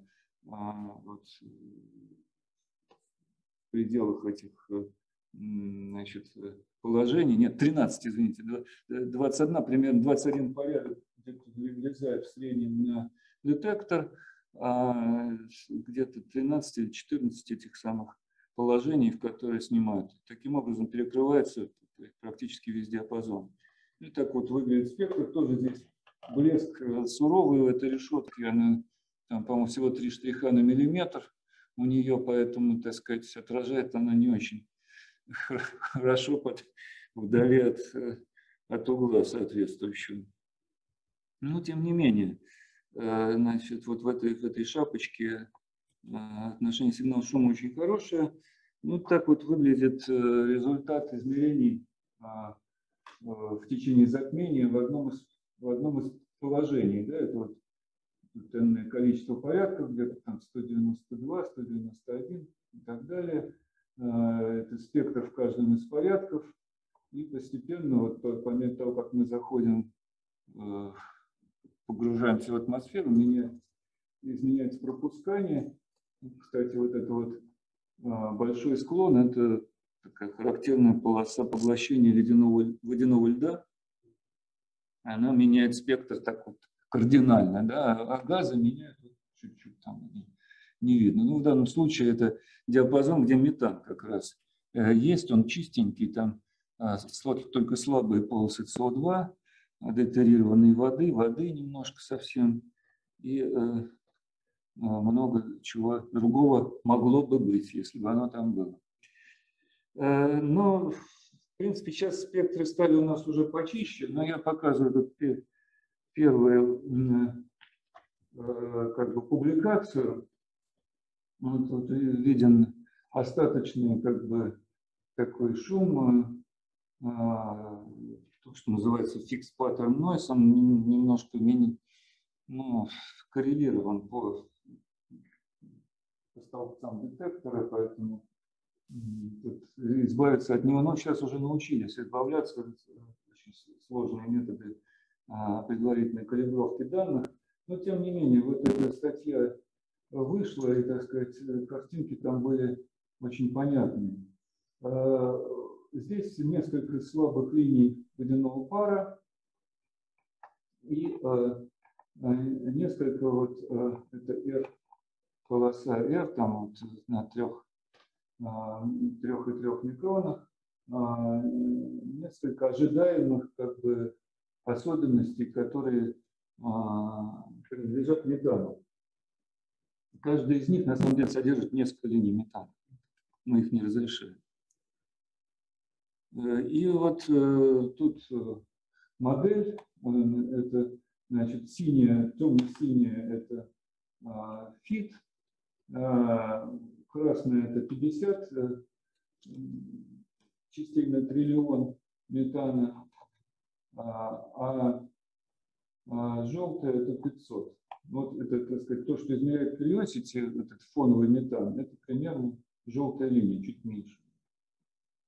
Вот, э, ну и видно, что чего-то там может быть есть, но там в другом порядке есть кувет, в который нет ничего. Поэтому, ну, ну, так сказать, мы детектирование здесь не, не делаем, хотя вот, да, там что-то такое вот можно угадать, но тут на самом деле этот фикс паттерн нойс удачно лег. Э, По, по таким данным были сделаны массовые обработки по тому времени. И вот э, вверху мы видим эту кривую Curiosity. Мы видим здесь логарифмический масштаб и наши верхние пределы. Ну, видите, они доходят до, до достаточно низких значений. Э, Но, в общем, в качестве, в качестве ну, такой как бы цифры компромиссной, еще чтобы тут не обижать на мат, это была совместная статья в духе ми- мирного сосуществования с бельгийцами. Значит, э, раз, два, два, три, четыре. Вот где-то на этом уровне мы провели предел. Вот бельгийцы доставали.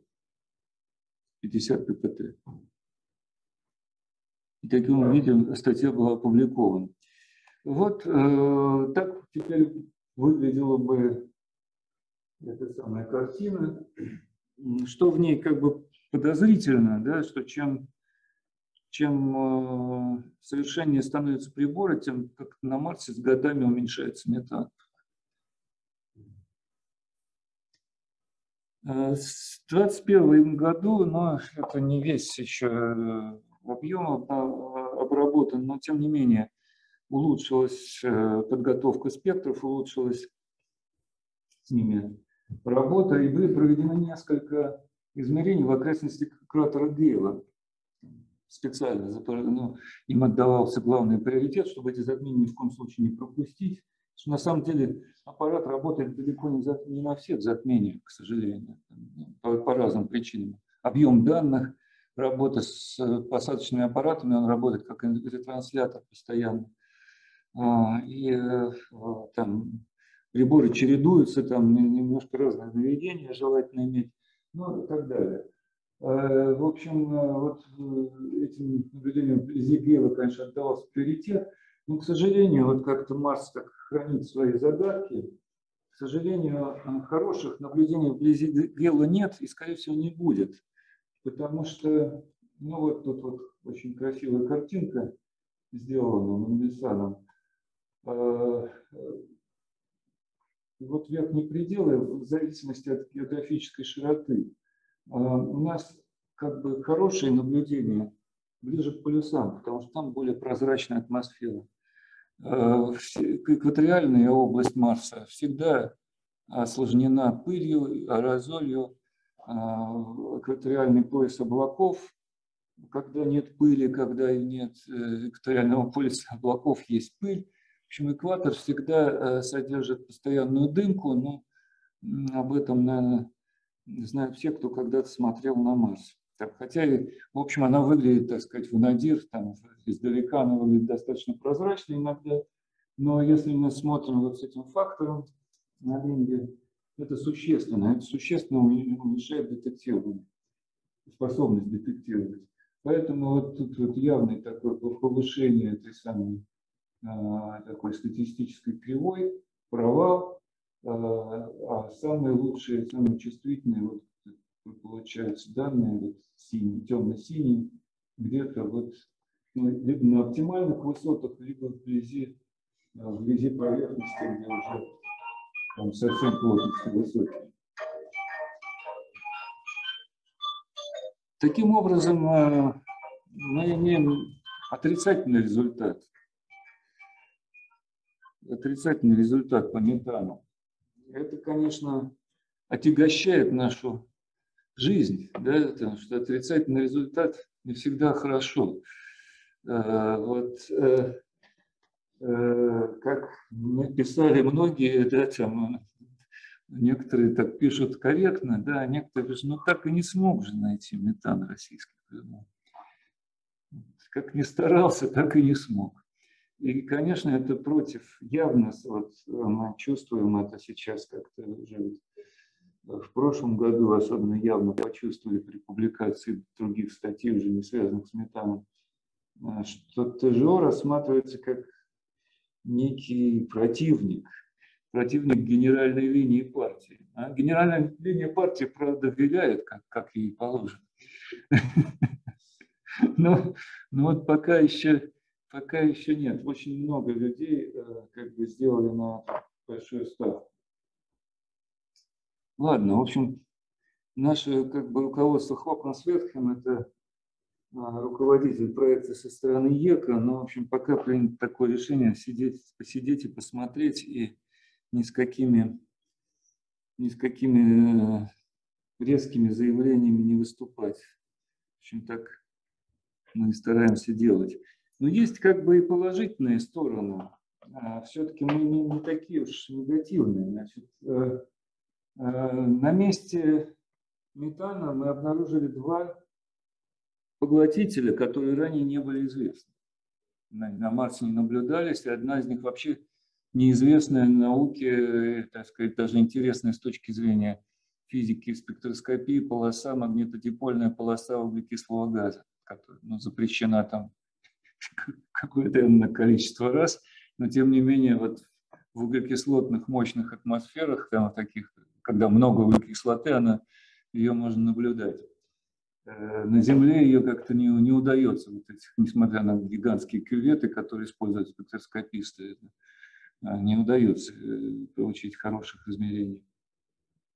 Мы обнаружили хлорводород. Измерили изотопные, профили изотопных отношений и в углекислом газе, и в воде. И установили э, такие вот а, низкие верхние, верхние пределы к э, некоторым газам, в том числе и фосфину на Марсе. Ну, совсем быстро. Значит, вот это вот самая магнитодипольная полоса, статья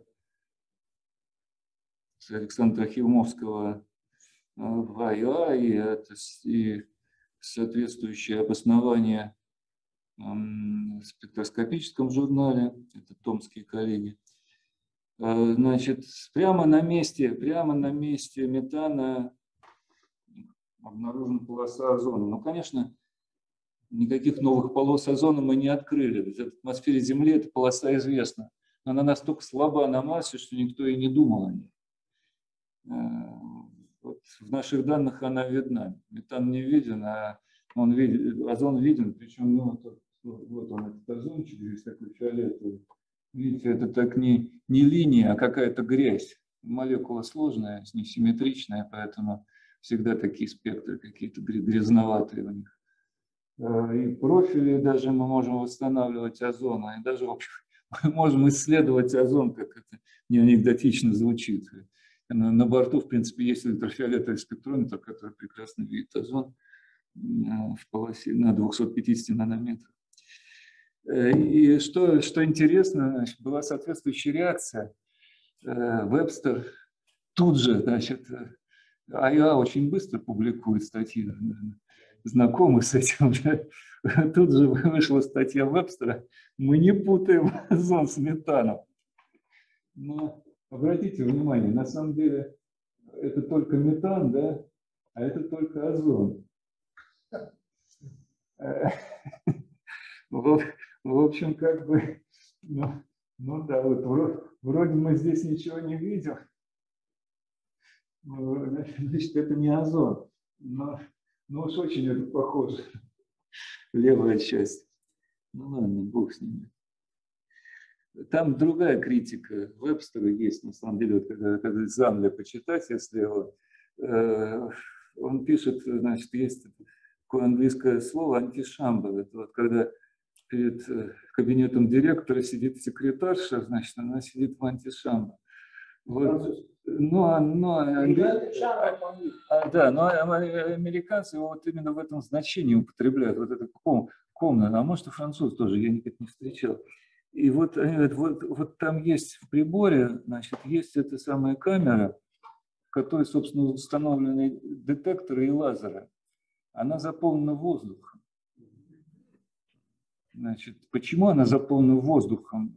Одному Богу известно. Почему она не заполнена азотом, э, чем угодно, почему она не, не откачана, там, не открыта просто-напросто. Э, в общем, она вроде бы заполнена воздухом Земли. Вот. И вроде бы это никто не опровергает. То есть прибор измеряет э, на самом деле не метан, а разницу двух больших э, как бы, значений метана. Маленькую разницу двух больших значений. Два. Два. Но метана много. Молекул много. Два. Э, вышло и вошло. А в этой в кювете, там я не помню, там, помню. 20, кажется, она вот какая-то такая, и у нее 16 метров общий ход. Так, э, детектирование э, хлорводорода. Почти чуть не прозевали. На самом деле э, по нему есть верхние пределы, очень чувствительные, установленные с Земли. Но и как-то мы посмотрели, его вроде нет. А потом он появился. И вот оказалось, что, э, э, и причем мерится прекрасно, там, в десятки раз больше верхних пределов установленных, мы видим, и хорошие очень э, верность, там, да, да, доверительный интервал этих э, детектирований, много линий, мы видим изотоп, э, изотоп, соотношение, можно измерить изотоп хлора 35 и 37, 37 на 35 э, в хлороводороде, что, в общем, э, очень даже э, достойно с точки зрения точности. Но это, что интересно, его как бы не было, не было, потом прошла полевая буря, и он появился, но не везде. Потом его опять не было. Вот на основании этих данных как бы мы опубликовали статью, целились в Science, но там сказали, да ничего интересного тут нет. Пара рецензентов. Э, Дэвид Катлин, который был третьим, написал это очень интересно и можно публиковать как есть. Ну, в общем, промурыжили несколько месяцев. Э, в итоге мы опубликовали это в Science Advances. Никому не рекомендую, очень дорого. Значит, на это, на это купиться не, не надо. Там, лучше идти куда-нибудь в другие места. Э, никто не мог подумать, что так дорого стоит. Э, и 12 э, линий мы видим. Значит, такой вот картун нарисовала Ека. Идея, значит, главная, как бы что все-таки его появление связано с полевым сезоном, какие-то измерения ну, просто пыль нам мешает делать, поэтому мы его видим не всегда. Но когда пыль немножко оседает, мы начинаем его видеть. И, в общем, э, возможно, вероятно, что, ну, поскольку хлора много на Марсе, вот, как элементы, да, он распространен на поверхности. Потом есть перхлораты, известные, обнаруженные многократно. А, значит, э, все это может быть э, в пыли. А, даже если там были, например, э, моря когда-то, да, кажется, что подозревается вполне серьезно, там натрий хлор может присутствовать на поверхности. Таких конкретных измерений нет, потому что делается, как правило, измерение элементного состава, не очень понятно, в каком состоянии находится а, какой, какой структуру входят эти, эти атомы. Но, а, а, тем не менее, вот такая гипотеза, что поваренная соль реагирует с водой, которая в том числе поднимается вместе с пылью, вот, поднимается вместе с пылью на кислород, реагирует с водой, которая, как мы видели, уже обильно присутствует в это время года, ну и формирует хлорводород. Куда он девается потом, тоже непонятно, но э, с точки зрения э, вот, обычных моделей, он, казалось бы, тоже должен жить достаточно долго, не, не 300 лет, но и не, не 3 недели, как, как мы наблюдаем. В общем, ну, какие-то процессы, возможно, его вымывают. Гипотетически это может быть, например, взаимодействие с с, ледяными, с водяным льдом вот, в атмосфере Земли вроде бы это наблюдается. Э, ну и наконец, наконец, э, э, в принципе не исключается гипотеза, что это как вулканический газ может все-таки быть связано с какой-то активностью на планете. А, контраргумент то, что на Марсе не обнаружен, в общем, очень хорошо ограничен Э, диоксид серы, который, казалось бы, вулканических газах гораздо более обиден. Но тем не менее, это не э, исключается. Вот я сейчас покажу еще почему. Затем мы посмотрели второй год. Кевин Нойсон, коллаборатор, э, как бы, на самом деле он нашел линии спектра. Смотрел на спектр и, на, и обратил на это внимание. Э, посмотрел второй год. Э, и вот тут другой способ, как бы вот это, это пыль там в разные годы, это значение детектирования, маленькие ошибочки, хорошие очень значения. Тут на графике всегда лучше видно, чем на карте. И вот два значения, то есть оба года, там, несмотря на пулевую бурю, кстати, 1934 году, который где-то здесь случился, где-то здесь, а, хлороводород ведет себя совершенно одинаково. Но а, вот эти вот два значения, на самом деле их больше. Вот сейчас мы смотрим, их там больше.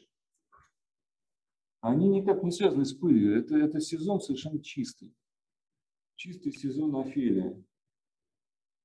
И это не просто детектирование, это профили, не единичное детектирование. Это не какие-то, так сказать, аутлайеры. И вот сейчас там Саша Трохимовский смотрит и видит в этом же районе еще несколько там более, более таких поменьше по абсолютному значению, но тоже достаточно достоверных детективов. То есть, в общем-то, может быть, все не так просто, и может быть, действительно есть какие-то выбросы, а то, что мы видим, да, может быть вулканизм, может быть какие-то э, термальные вещи. Э, это не исключено. И, а то, что мы видим вариации, это тоже не, некая химия, которая пока еще непонятна. В общем, как в случае с метаном, так в случае с водородом, э, мы как бы сталкиваемся, если верить в метан, да, мы сталкиваемся с необходимостью как, как какого-то введения в химию э, атмосферы э, процессов, которые пока не, не объяснены, которые пока не найдены. И для быстрого уничтожения метана, и для быстрого уничтожения и э, водорода, в общем, нужны какие-то процессы. Ну все, в общем, это как бы заключение. Я как показал далеко не все результаты. Тут попытка там компенсировать это в таком кратком заключении. Я с удовольствием отвечу на вопросы. В общем, так вот у нас счет статей сейчас 20, конечно, это не рекордное, но вот, как вы видели, у нас какая-то пошла тенденция на журналы высокого профиля. И, в общем, это довольно тяжело, надо признать. Это отнимает, конечно, колоссальную энергию и время. Но, тем не менее, в общем, двигаемся. Да, в пандемию многие обычные журналы, вот ЖРЛ, который никогда не отличался ну, э, как бы какой-то застойностью, публикуем очень долго, часто реагирует сейчас.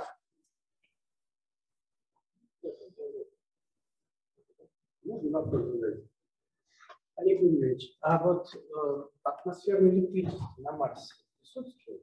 Ну, э, оно, оно, оно подразумевается, скажем так. Э, мы... Есть пылинки, которые там поднимаются, там трутся, возникает заряд, должны быть. Да. есть, так должно быть. Но оно, оно, оно наверняка есть, э, но, так сказать, его непосредственных измерений пока не было. Вот на этом самом а, а, демонстрационном аппарате, который должен был сесть э, э, вместе с ТЖО, да, вот э, был запущен и должен был сесть на поверхность Марса, но у него не сработали датчики, и он, так сказать, отстрелил парашют на, на высоте порядка 10 километров. Вот этот самый там был такой прибор, как для, специально э, ориентированный на, на это самое электричество, на трибоэлектричество. И э, э на экзомарсе 2022 есть соответствующие датчики. Вот там есть такой полевой комплекс, э, там тоже есть соответствующие датчики, причем так достаточно развито это все эти такие измерения. А, вот. Э, но и есть ряд совершенно правильный, так сказать, вопрос. Есть ряд работ, которые ну, вот, э, электрическими разрядами объясняют а, как бы те или иные реакции, да, аномальные.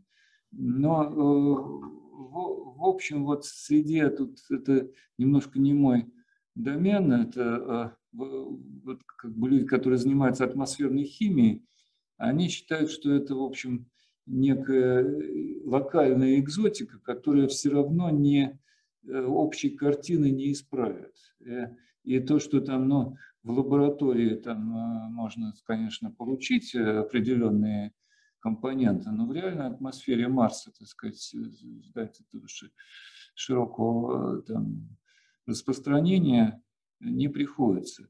Но, в общем, я, я прекрасно понимаю вопрос и вот э, в, при, при публикации этой статьи в Science, Science, потому что мы прошли курс лицензирования в Science неудачно, а, я отвечал на эти вопросы.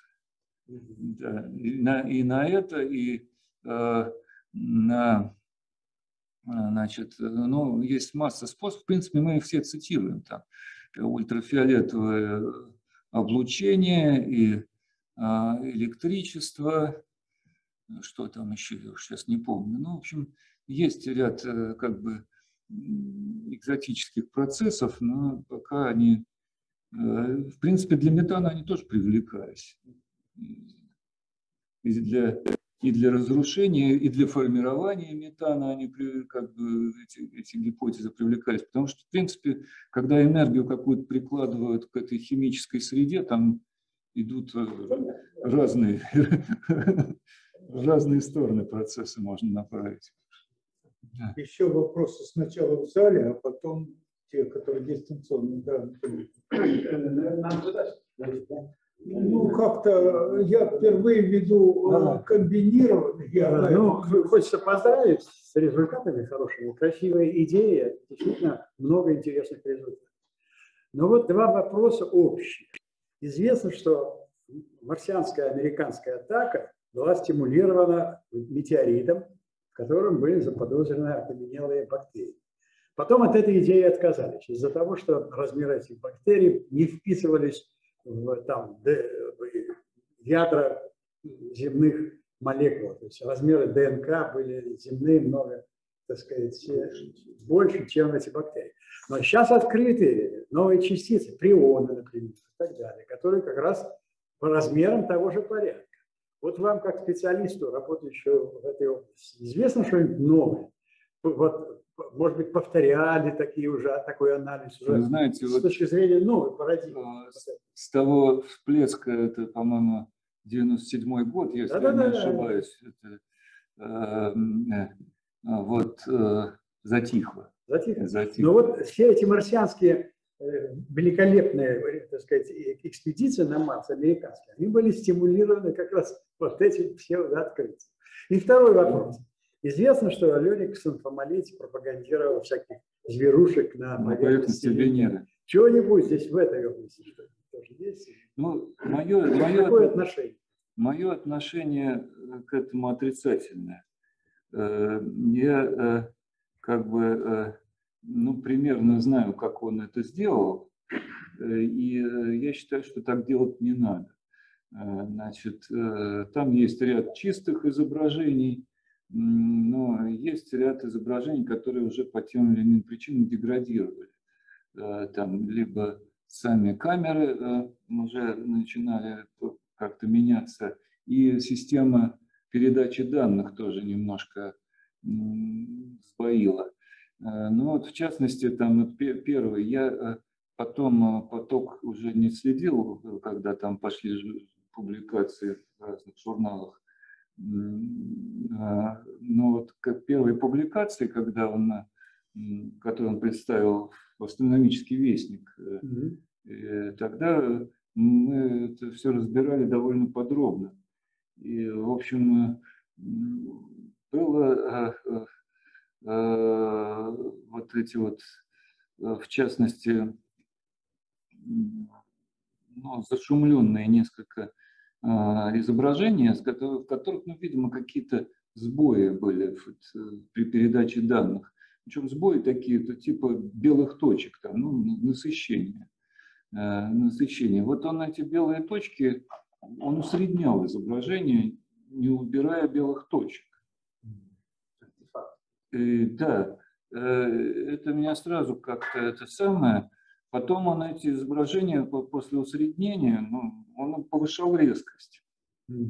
Ну, э, там понятно, что есть как бы стандартные э, ка- как, как бы наборы э, инструментов для этого, да, но э, математически это сначала продифи- э, проинтегрировать, потом продифференцировать. Ну, что вы получите? Да, что, все, что угодно. Спасибо. Спасибо. Еще вопрос был, хорошо. Лучше подойдите так. Как кажется, принято. По поводу прям совсем по поводу распределения, а если метан все-таки в значимых величинах он присутствует в атмосфере э, Марса, то какой-то профиль распределения по высоте прогнозируется? Он должен быть, он должен быть перемешан. Он должен перемешаться вот Он- эти все, все Он он должен перемешаться, как любой вот, э, э, ну, э, ну, вот, например, СО, да, вот как там в этом докладе он отсутствует. Э, Вот, уг- угарный газ, он не конденсируется, да, он, так сказать, долгоживущий, э, но э, в, общем он перемешан, да, но как, как оказывается, что все равно распределение есть, потому что меняется СО2, да, содержание СО2 в атмосфере Марса меняется, значит, неконденсируемые компоненты выпячиваются, ну, в том числе аргон, там, да, вот это, были статьи, там, как, что на, Марсе меняется содержание аргона, да, но оно меняется, потому что меняется, потому что атмосфера просто становится тоньше, когда зимой происходит вымерзание.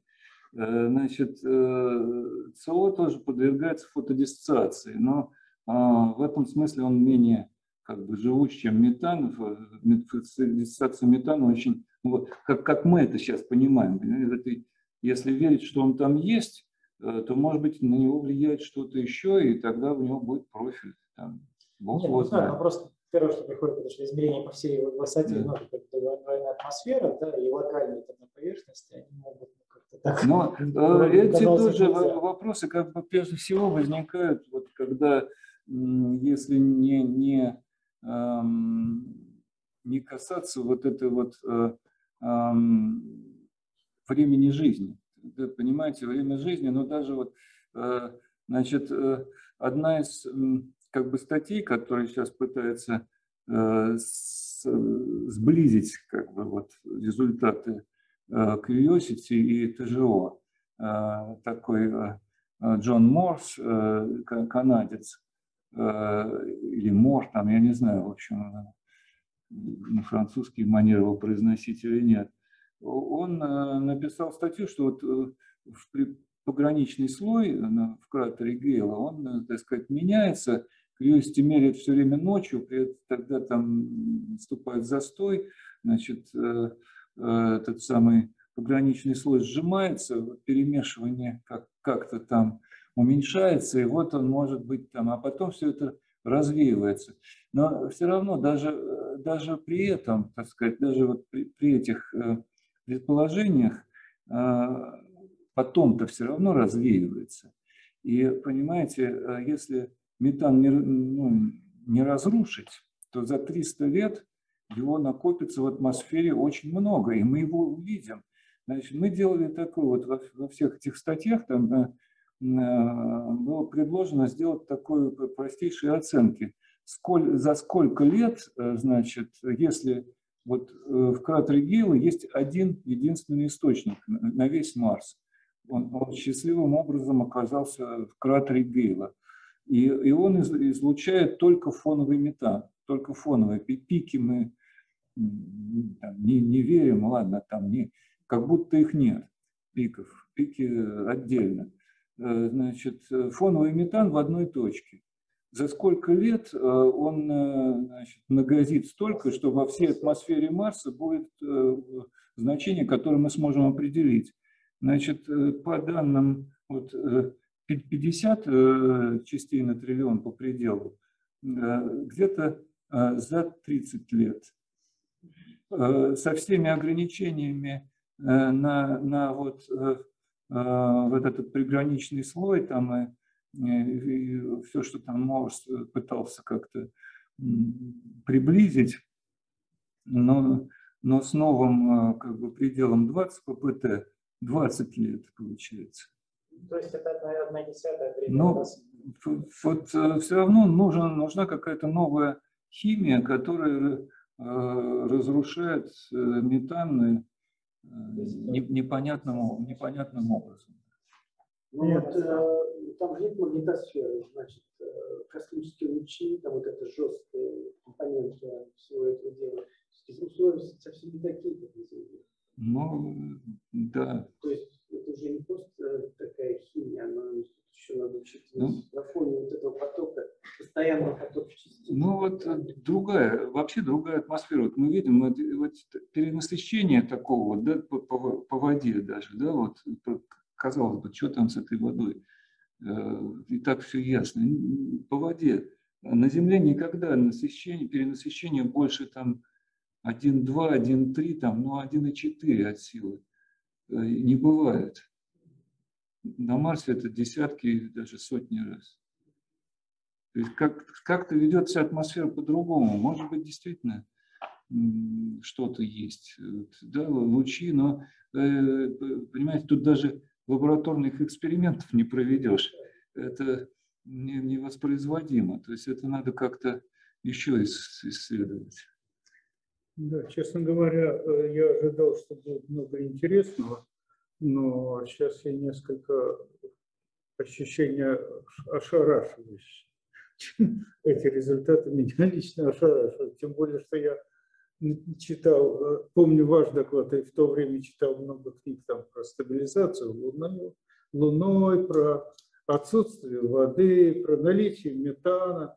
И все, все то, что я знал, все Ну, оказалось Ну, неправильно. стабилизация Луны, я, к сожалению, сейчас ссылку не припомню. Да, вы мне пришлите, Но, но ее, ее где-то в одиннадцатом году, по-моему, там вот, вот э, там Ласкар 2004, он еще стабилизировал, или там, э, ну, в общем, где-то в, в начале 2000-х, он еще стабилизировал Луной.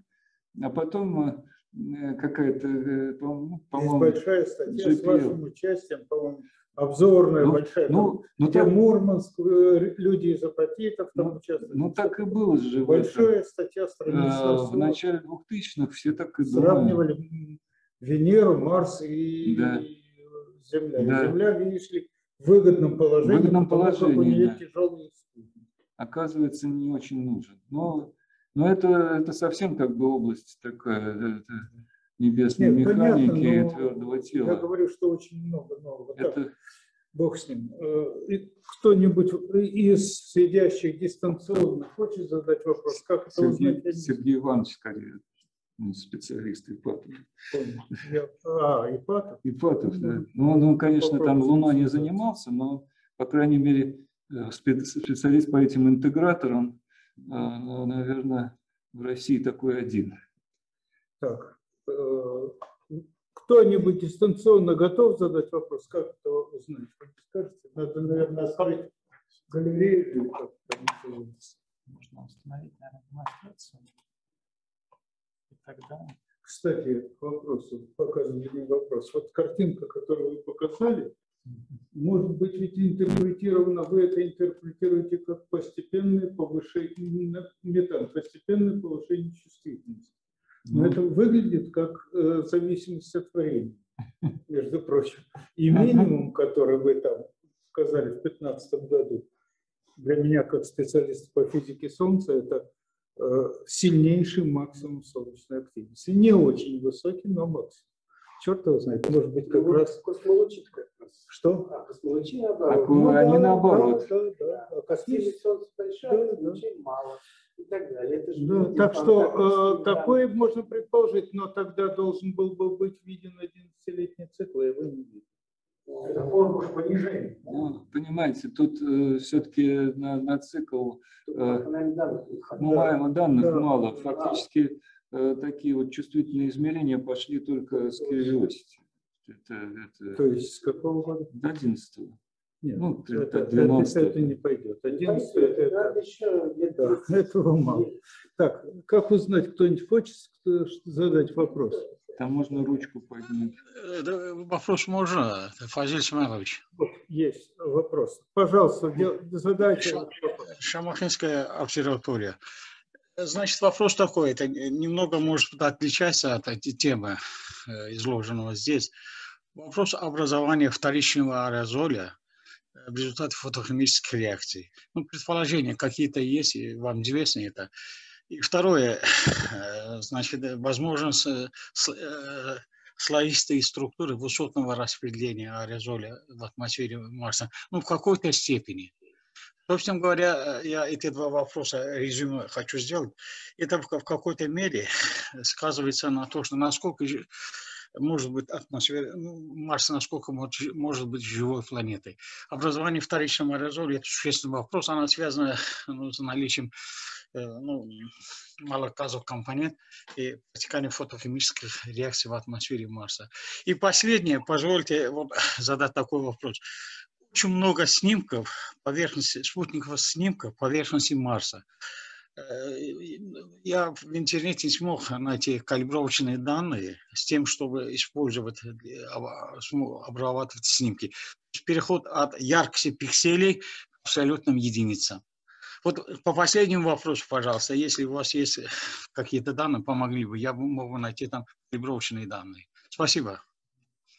Спасибо. Ну, по первому вопросу, значит, э, тут, э, э, конечно, каких-то, ну, это была бы сенсация обнаружить э, э, какие-либо э, признаки, да, вот э, аэрозоля, который бы э, имел бы происхождение иное, чем, ну, в общем, так относительно простая э, микрофизика, которая связана на Марсе с э, но с конденсацией, ко- коагуляцией там, и э, конденсацией двух э, разных э, а, компонент, это и водяной пар и углекислый газ, там как бы облака и той, и той природы наблюдаются, но углекислотные облака, как правило, очень слабые, их очень тяжело засечь, но тем не менее есть методы, их э, отождествляют. Но водяные облака, они широко распространены, их э, видно.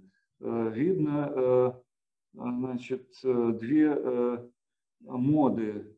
э, И э, вот э, их природа, э, так сказать, сейчас еще недостаточно хорошо установлена. Но, э, э, в общем, э, есть статьи вот э, и в том числе и по спикаму, там статья Федоровой, по-моему, 2014 года, это две моды аэрозоля. Там нельзя было установить из тех данных их природу. Ну вот буквально вчера мне рассказывал Лугинин, что он видит две моды в водяных облаках высотных. Но это, наверное, немножко другие данные. В общем, тут как бы что-то есть про, вот, про двухкомпонентный аэрозоль. Но, э, в общем, в основном, вот пока, так сказать, на нынешнем уровне понимания, люди, когда э, встречались с каким-то э, вот так, такими вещами, что широкий разброс размеров частиц, они просто брали широкое распределение и этим значит, вопрос закрывали. Но вот сейчас качество данных немножко как-то все это улучшается, и, и, в общем, я думаю, что будут работы по все-таки э, э, и, и по э, точному определению вот, природы, э, потому что пока мы там только гадали э, природы вот, э, двухкомпонентного разоля э, и по, вот, по, по высотным облакам. Значит, слоистость, э, безусловно, есть, ее много, да, э, да, когда есть э, облачные слои, они да, слоистые. Это, это как бы обычное дело, может быть, два слоя, три слоя. Не знаю, там больше я так не видел на скидку, но если там при желании, наверное, можно найти какие-то мелкие и более слои. Но вот, конечно, здесь как-то их отождествить с какими-то реакциями Э, фотохимическими или иной природой, вот как вы говорите, тут пока, ну, э, если бы там были э, некие характерные полосы, да, присущие аминокислотам или жизни, но это, это безусловно сенсация, там таких, таких открытий, да, ждать, в общем, ну, честно говоря, не приходится. Тут э, в развитии идеи этих э, фосфина, там э, один из архивных припринтов был аминокислота следующий, но он, по-моему, так и не достиг стадии, тоже из, из тех же дальних альмы, так и не достиг стадии лицензированной публикации. Какие-то индийские коллеги. Значит, вторая часть вашего вопроса – это калибровка с данных фотографических, к сожалению, я тут не смогу вам помочь. Э, значит, на борту ТЖО есть э, камера Кассис э, швейцарская, так сказать, в общем, наверное, она могла бы быть и российской, там складывались обстоятельства, но тут силы были ограничены, как-то вот наши коллеги не не взялись за это с энтузиазмом, которые могли бы это сделать. Ну вот, э, э, значит, э, я думаю, что надо действовать по следующему алгоритму. Надо выбрать камеру, которая вам, как бы инструмент да, наблюдения, который вам наиболее интересен, взять его название, группу, которая им занимается, и найти в интернете не картинки с Марса, а значит группу, которая курирует руководителя этого соответствующего прибора. Это может быть там камера Кассис, там это Ник Томас, либо, ну, в общем, это легко найти на, на сайтах агентств. Э, либо американские камеры, там есть очень Э, камера высокого разрешения на аппарате МРО, э, есть камера цветная стерео на э, европейском аппарате Mars Express. В общем, камера есть на, на каждом практически аппарате. И, и тут, так сказать, надо ориентироваться на, на хорошие группы, выбрать, что вам больше всего интересно, пойти на их сайт там, и там искать. Э, либо, значит, есть э, система, ну вот на европейскую не буду как бы вас посылать, там огромные задержки и неразбериха, а есть, называется система Planetary Data System американская, поддерживаемая НАСА. Значит, на ней находятся э, данные и со ссылками и калибровочными, э, ну, данные готовы к использованию. Наверное, в том числе и, кам- и, и- и эти камеры. Может быть, с этого проще начать. Думаю, что.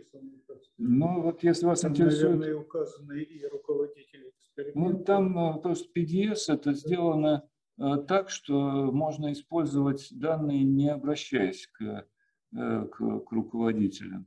Понятно. А вот в случае, если вас интересует именно Mars Express, то, то тут надо идти на, на сайт КАСИС в Бернском университете и искать там, э, либо там это есть, э, либо там надо будет, э, чтобы их как-то этим воспользоваться, э, сделать какие-то действия с руководителями.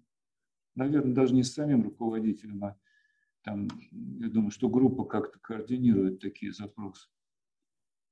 Понятно. Так, спасибо. Есть еще кто-нибудь желающий задать вопрос? Не вижу. Нет. Ну хорошо, два часа мы э, заседали. В любом случае, Серьезно.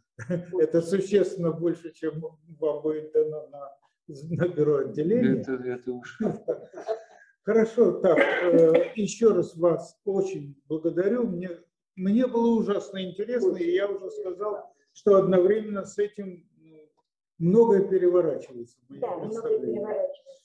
Будем думать, и, может быть, еще что-нибудь у вас спросим.